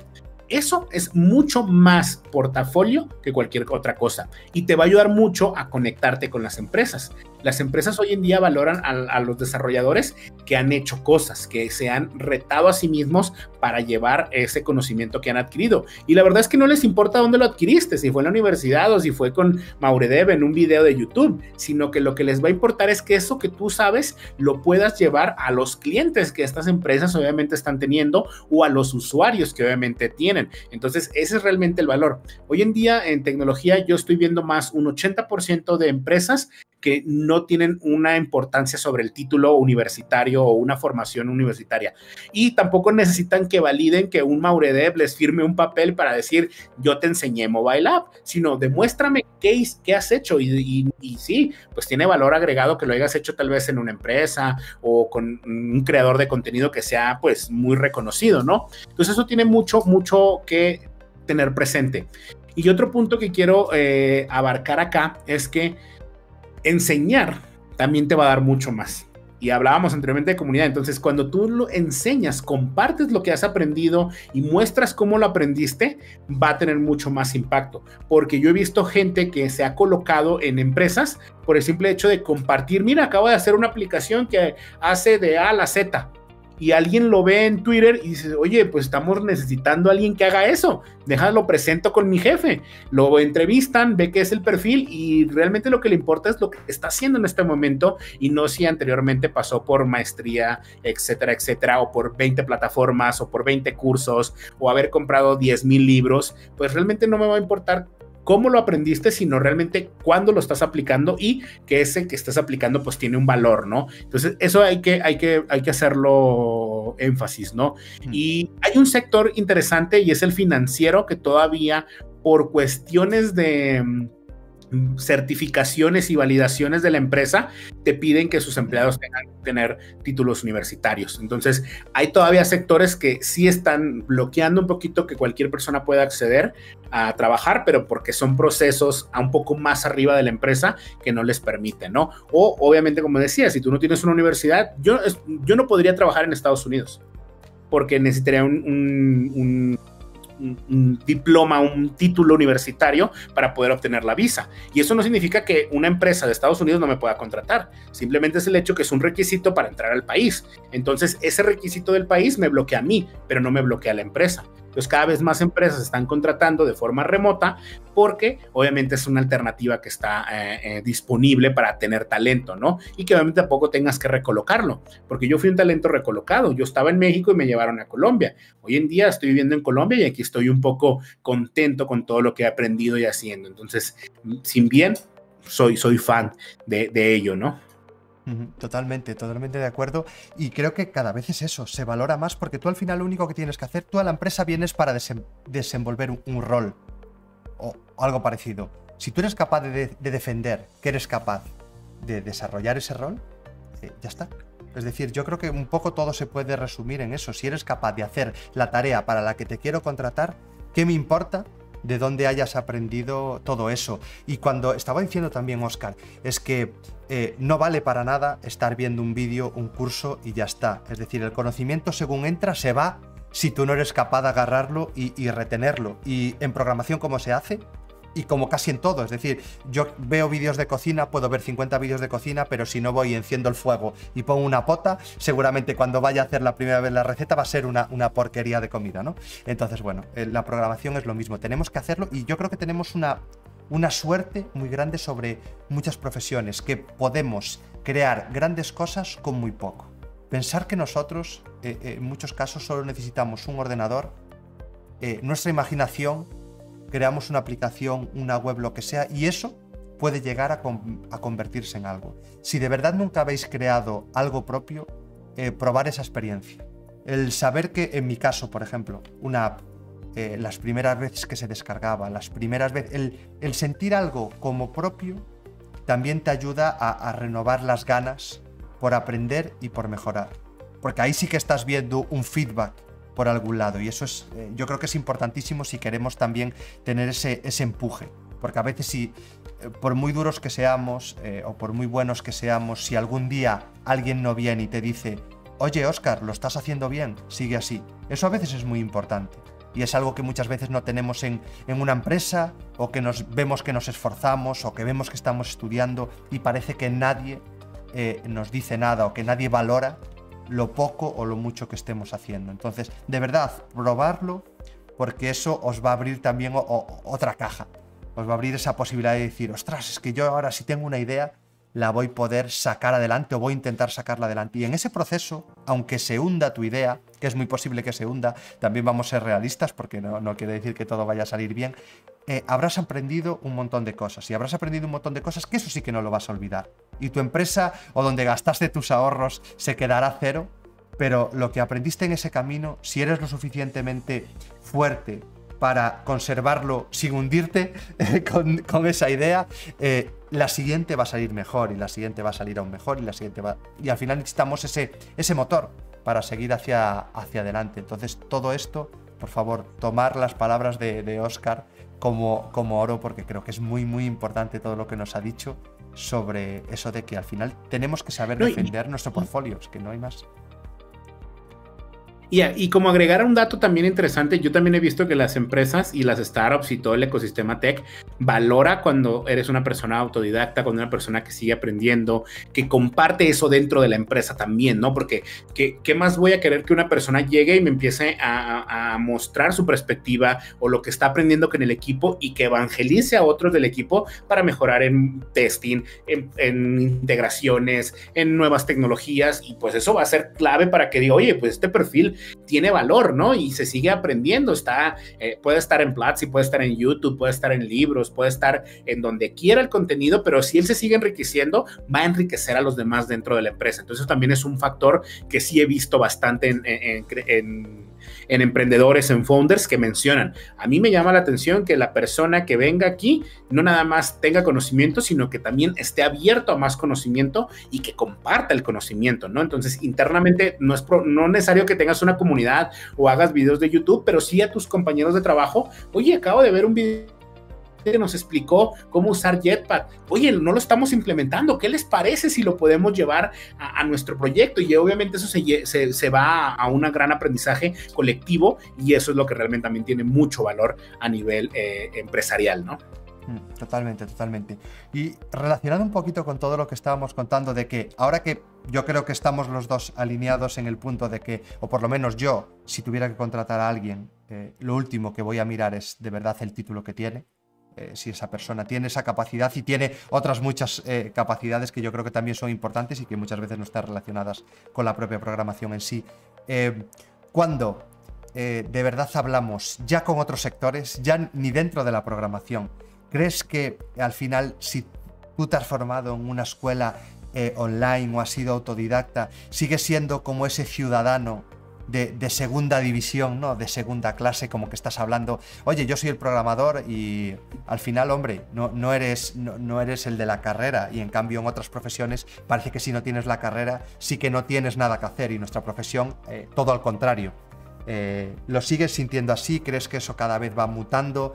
Eh, yo creo que cada vez es diferente, pero que aún hay ese punto de, sobre todo con no conocedores o con gente que de verdad no está en el sector o con empresas muy old school, como tú igual estabas diciendo, los bancos, que igual hay también, como son un sistema tan antiguo y con datos tan sensibles, también ese proceso es muy burocrático como estábamos hablando de las universidades, que todo también avanza despacio y que muchas veces cuando estamos utilizando servicios de un banco, las bases de datos que tienen, pues claro, eso es todo un código super legacy, eh, que no hay forma de utilizarlo, de migrarlo, de avanzarlo, que hay mucha gente que ha empezado a trabajar y que suelen ser empresas que... Eh, como a los programadores, ahora sí que parece que cambiamos bastante, hay mucha oferta, hay mucha demanda, pero antes era como cualquier otro empleo. Yo entraba en una empresa, y yo me jubilaba y acababa mis días como trabajador en esa empresa y los bancos también quizás han sido de los primeros en empezar a crecer en ese punto y ahora sí que aunque fueran de los primeros sí que se han ido quedando atrás y esos altos cargos en muchos casos es gente que lleva mucho tiempo trabajando que le ha pasado un poquito, como decíamos, igual a los profesores, que no han tenido esos medios o ese incentivo para sigue avanzando y sigue modificando el sistema para que vaya mejor. Entonces hemos quedado ahí en ese, en ese punto estancado, por lo menos es la sensación que me da a mí. Entonces, ¿qué, qué opinas? ¿Qué opinas sobre esta segunda clase que parece que se, que se nos puede atribuir? Pues eh, totalmente de acuerdo, porque pues sí, ahorita yo también he visto que las mismas universidades tienen su forma de medirse, ¿no? Top 100 de universidades. Y, obviamente estar en el top 10 y ser graduado de un top 10, pues tiene mucho valor. Yo he visto que abre muchas puertas, ¿no? Y son pros también de las universidades. Y creo que todavía sí estamos como, como mencionas, ¿no? Como jugadores de segunda división en cuestión de la educación, porque todavía muchos personas no han accedido a este contenido. O sea, mi mamá no, o sea, mi madre no sabe que yo enseño, o sea, que doy clases y que enseño, pero no sabe que es en una plataforma online y que no es una universidad. Para ella cree que yo estoy dando clases en una, institución educativa que tiene un renombre en Colombia, ¿sí me entiendes? No, o sea, y pues obviamente yo le explico a mi mamá, no, mira, es una plataforma, ah, sí, pero eso es una gran universidad. Pues entonces no le digo que no, pero tampoco le digo que sí, ya le traté de explicar, para ella es como la ilusión de tener a su hijo enseñando a más personas y pues no se la mato diciéndole que pues es todo un formato distinto, ¿no? Pero pues hasta que no lleguemos a ese segmento donde nuestros padres o nuestros abuelos estén consumiendo contenido, que yo sé que pasa, yo he conocido personas de 60, 70 años haciendo eh, o aprendiendo cosas nuevas en línea, pero hasta que no lleguemos a un segmento realmente grande, no vamos a seguir siendo considerados como primera alternativa. Y todavía me ha tocado ver que en México, en Latinoamérica, está muy de moda, el, eh, bueno, no de moda, pero está como esto de los padres ven mal que no estudies.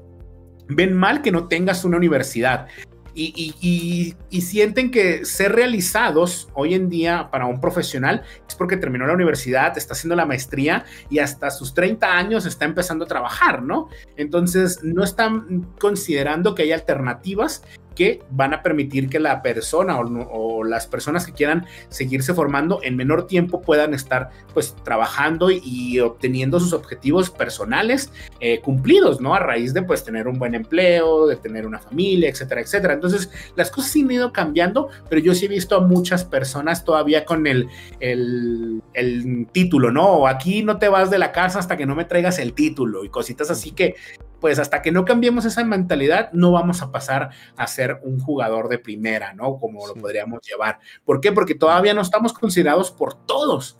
Y yo creo que el segmento de educación en línea, eh, independientemente del formato, como le hemos hablado, eh, hasta que no llegue a estas personas, hasta este segmento, no vamos a, poder hacer un cambio real, ¿no? Ahorita estamos llegando a, pues, a jóvenes, a personas que se están eh, instruyendo porque están buscando alternativas, pero hasta que no lleguemos a mi, a, un, a mi padre o a unas generaciones atrás, no vamos a, ser todavía considerados de la primera, ¿no?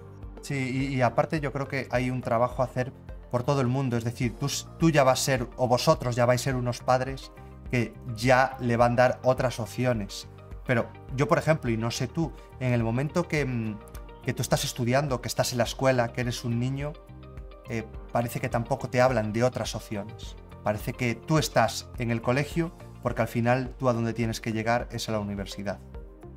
y vuelvo a repetir, no hay nada de malo en la universidad, por supuesto, pero creo que tampoco hay nada de malo en decir, oye, tú puedes ir a la universidad, tú puedes ir a un ciclo superior o tú puedes formarte. A mí me, he encontrado con gente que eh, ha dejado los estudios y ha trabajado y se ha ido a trabajar de, lo que se le llaman oficios, un pintor, eh, un electricista, un fontanero, y decir, pues yo gracias a eso he montado mi empresa y yo gracias a eso cuando tenía 20 años estaba ganando 3.000 dólares, que tú con tu carrera y no los has ganado en la vida, ¿no? Eh, es decir, te encuentras con esas cosas.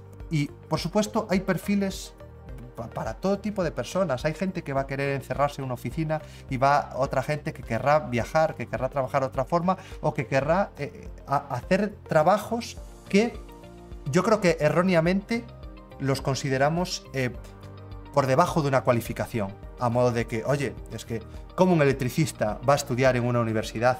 Bueno, pero ¿qué tiene que ver eso con que pueda ser un trabajo igual del decente que el que tú has estudiado en la universidad, que sea un trabajo que tú puedes necesitar estudiar y que tú puedas seguir formándote a lo largo de tu vida igual y que sea un trabajo que esté igual de remunerado. Entonces parece que existe esa guerra. Eh, y si ya existía esa guerra entre lo que era la formación habitual de, hombre, es que el ingeniero está por encima del fontanero. Eso no, no, te lo va a discutir nadie, ¿no? Pues parece que ahora, como ya hay otras opciones dentro incluso del propio campo, parece que también eh, está ahí. Y es como todo, es decir, eh, va a haber ingenieros buenos en su trabajo y los va a haber mediocres. Y va a haber fontaneros buenos en su trabajo y los va a haber mediocres, con estudios que consideramos de categoría muy, muy diferente. Entonces yo creo que eso es algo que aún queda mucho, mucho, mucho por trabajar y que los primeros... Eh, por supuesto, son los padres, que yo creo que por suerte esto ya lo vamos a tener ahora, pero los colegios también tienen que hacer mucho por, ese campo y, no cargar en muchos casos esa presión sobre el alumno, porque a veces si tú lo único que esperas, o, que incluso veas como que eh, no te ha ido bien porque tu familia no te pueda eh, costear una universidad. Y como que ya le has fallado a la sociedad porque yo no puedo tranquilo. Es decir, tienes que verlo como que tiene que ser una opción. Por supuesto, siempre va a haber, opciones al alcance de un grupo de personas y otras no. Pero eh, yo creo que tenemos que ser lo suficientemente inteligentes para decir, oye, no está mal, está bien eh, y que esto no tiene, no es ninguna deshonra dentro de, lo que muchas veces nos hacen, nos hacen creer, es decir, pero en todo, porque al final la sociedad parece que nos lleva a puntos muy concretos de lo que está bien y lo que está mal, y si tú vistes en chándal, mal, si vistes en traje, bien. Eh, y puede ser totalmente al revés, pues con los estudios yo creo que eso es algo que tenemos que tener muy presente también. Así es. Dicho esto, dicho esto, que ya te llevo entreteniendo bastante tiempo y tampoco te quiero aquí cortar todo, el día. Solo que bueno, dices cosas tan interesantes que yo te, retengo todo lo que puedo. Eh, ¿Cómo ves, ya por ir un poco, empezar a encauzar hacia, hacia el final, cómo ves eh, la enseñanza online? ¿Va en alza? Eh, ¿Qué sensaciones tenéis incluso vosotros? Porque al final vosotros incluso supongo que tendréis métricas, supongo que sabréis si hay más estudiantes que se están yendo a esto, cómo está esa balanza de educación online, offline, cómo está incluso los resultados académicos de decir, oye, vale, nosotros tenemos un plan, pero al final esto es como todo. Eh, está funcionando este plan, a la gente está entrando a trabajar, estamos llegando a formar a buenos profesionales. Eh, ¿Cómo ves todo ese futuro y cómo ves eh, hacia dónde se dirige todo este tema de educación online y un poco diferente al habitual? Pues mira, la enseñanza online no es de hoy, o sea, literal desde que existe Internet ha habido formas en las que cada vez eh, se puede encontrar el contenido, ¿no? Lo que sí es claro, eh, la pandemia puso en jaque a, todas las instituciones educativas y obviamente hoy en día cada vez más plataformas, más creadores, más personas están viendo diferentes alternativas para poder acercar conocimiento, ¿no? Entonces creo que es algo que va a permear aquí hacia el futuro. Eh, la enseñanza online sin duda va a ser clave eh, para que obviamente más personas puedan a tomar la decisión de aprender como ellas quieran, al ritmo que quieran. Y eso también es muy importante porque nos obligan o, estábamos obligados en un formato, en un horario, en un estándar, en, en, de A a la Z, etcétera, etcétera, ¿no? Entonces creo que con estas nuevas alternativas se vuelve asíncrono las cosas en las que nosotros vamos a poder trabajar. Yo puedo tomar la decisión de enfocarme tres días, tener mi tarea en uno y poder tener otros días para otras actividades o poderlo mezclar con actividades como trabajo, ¿no? Entonces eso también es muy importante. También eso sí, se ha visto que obviamente instituciones educativas pues han pausado o, o han quebrado esto es, real. La pandemia ha hecho cosas interesantes a raíz de cómo eh, las personas, pues al estar en casa, no permitían eh, su asistencia y esto se había armado en muchas cosas que estaban alrededor de, las instituciones educativas. Y bueno, eso es, normal que pueda pasar. Ahora, lo hemos visto. Yo la verdad, yo eh, como creador de contenido empecé exactamente en marzo. El, yo estoy por cumplir un, a finales de este mes por cumplir un año creando contenido. Mi, mi YouTube, mi canal de YouTube, eh, fue creado por ahí del 23 de marzo. Eh, mis primeros lives fueron en, eh, viendo a Maure, que también creo que por este entonces empezaste. En, abril, más o menos, por ahí. Por ahí empecé a verte y dije, bueno, pues yo también me voy a animar, ¿no? Y la verdad es que cada vez sabemos más personas que hemos surgido vemos la comunidad de String Coders y cada vez hay más creadores que se animan, más formatos nuevos que se están experimentando, más contenido que se está creando. Como te decía, a mí me sorprende lo que yo estoy viendo en TikTok. O sea, tienes un minuto para enseñar algo. O sea, ya se transformó a ese nivel, digo, porque aquí podemos abrir un live, estar dos horas y platicamos y nos la pasamos bien. Pero en TikTok tienes un minuto o menos de un minuto para enseñar algo. Entonces, esos nuevos formatos están obviamente empujando a que la enseñanza online vaya a esas cosas, ¿no? Eh, como recientemente Carlos Asaustre nos mostró su libro, ese formato también tiene un, valor, que tú hagas eh, los mismos videos, que tengas tus cursos, que yo haga mis videos, que tenga mis cursos, que comparta, pues todo esto va a permear a que la enseñanza sí sea vista como una alternativa eh, tangible, real, que funciona. Y bueno, nosotros lo hemos visto, como les mencionaba, yo trabajo en Platzi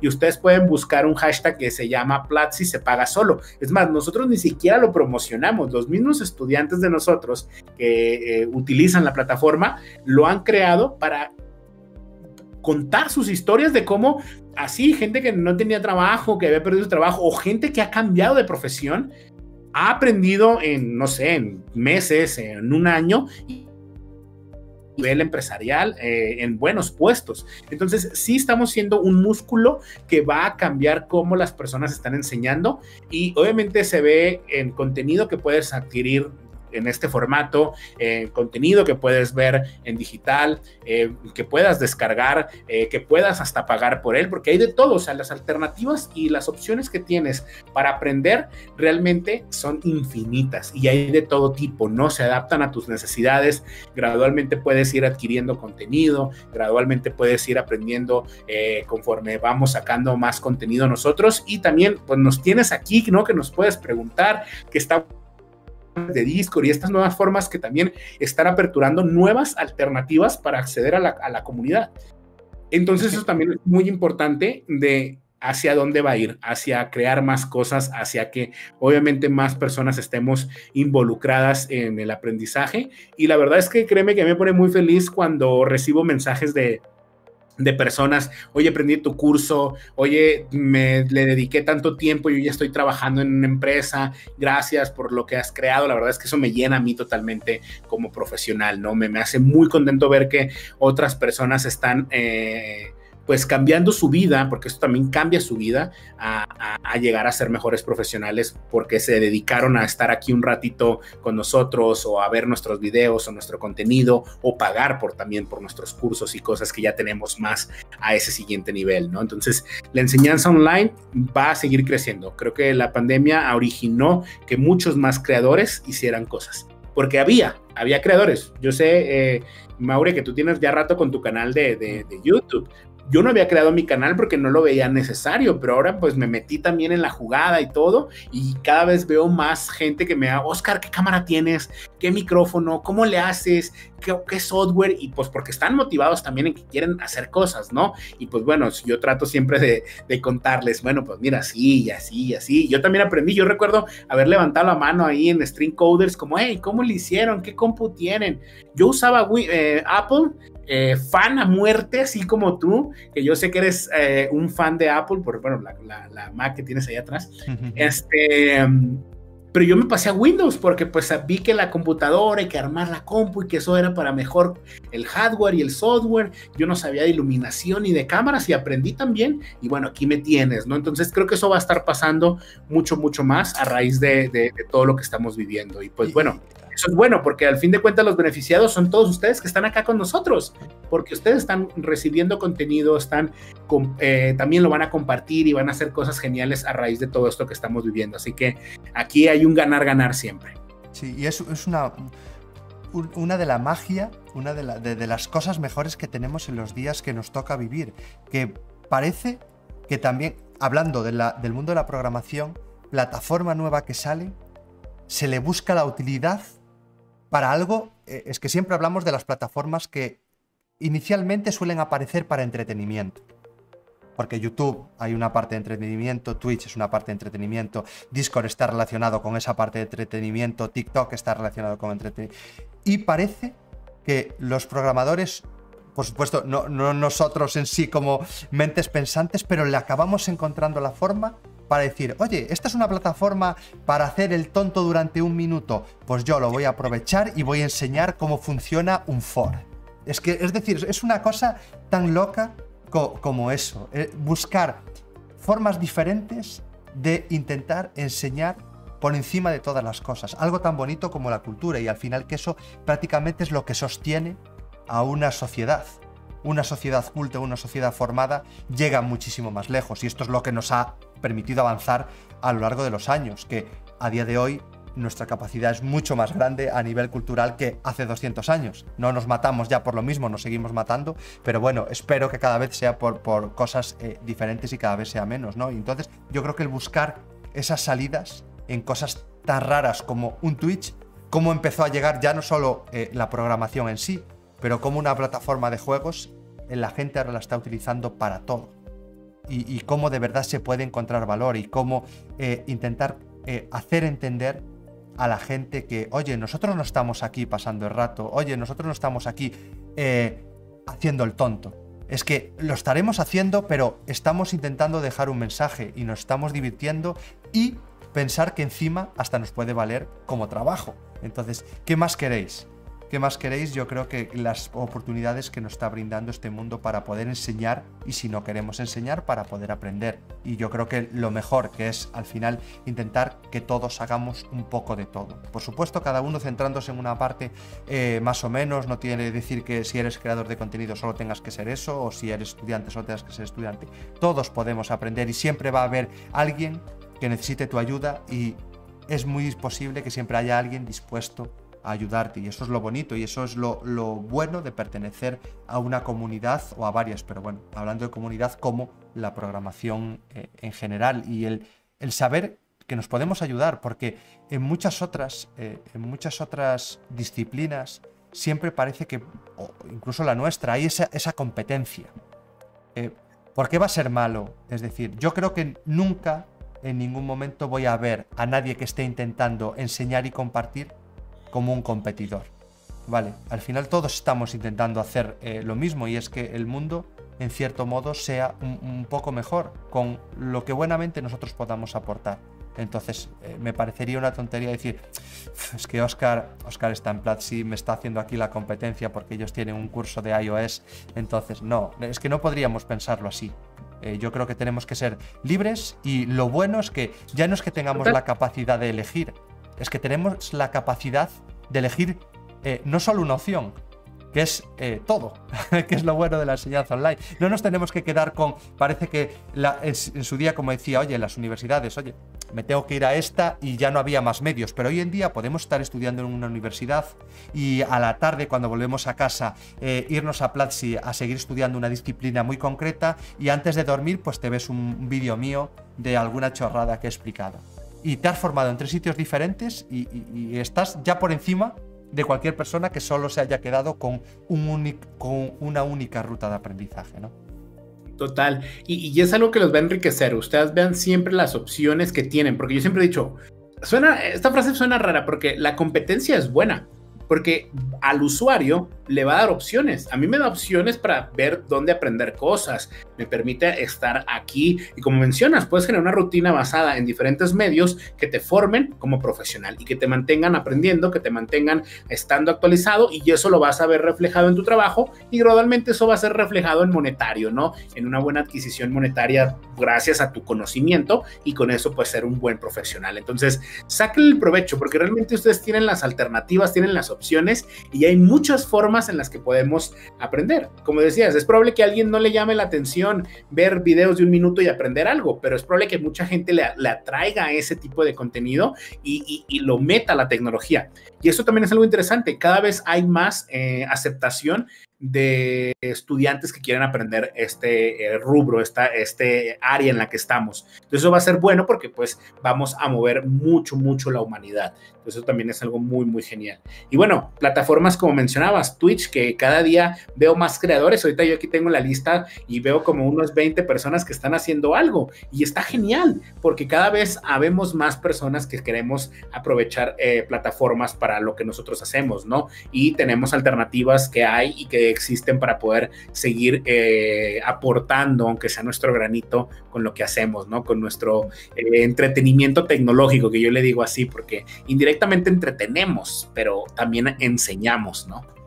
Sí, sí, totalmente. Y aparte que es eso, nos abre las puertas a, a, intentar utilizar estos medios, incluso adaptados, porque lo que tú decías, TikTok, al final el formato, obviamente yo, aunque sea un minuto, yo no puedo leer la especificación de un API eh, directamente. ya lo tengo que adaptar de alguna forma, lo tendré que hacer de una forma graciosa, lo tendré que hacer de una forma dinámica. Eh, nosotros estamos aquí en Twitch y, podríamos dar una charla al uso, es decir, que llegue Oscar, que hable, que abra un, PowerPoint y que empiece a pasar slides, una tras otra, una tras otra, y que lea el solo, que nadie, que no leyéramos preguntas, que yo preguntara lo justo. Eh, os puede decir Oscar, le pasé cuatro preguntas, hoy que escribí más o menos que se me acordaron, bueno, ¿te parece bien? Bueno, vamos improvisando. Y así eh, siempre. Y yo creo que esa es un poco la, gracia de saber dónde estás y adaptar también un poco lo que quieres transmitir a ese tipo de canal y de comunidad que se está moviendo aquí. Y podemos aprender muchísimo más y al final nos da una visión mucho más amplia de lo que es ese nicho que la programación puede ser algo muy concreta, pero que de verdad puede abarcar muchas más cosas. Así que, bueno, ya por un poco ir cerrando, para no liarte mucho más, de verdad, muchísimas gracias.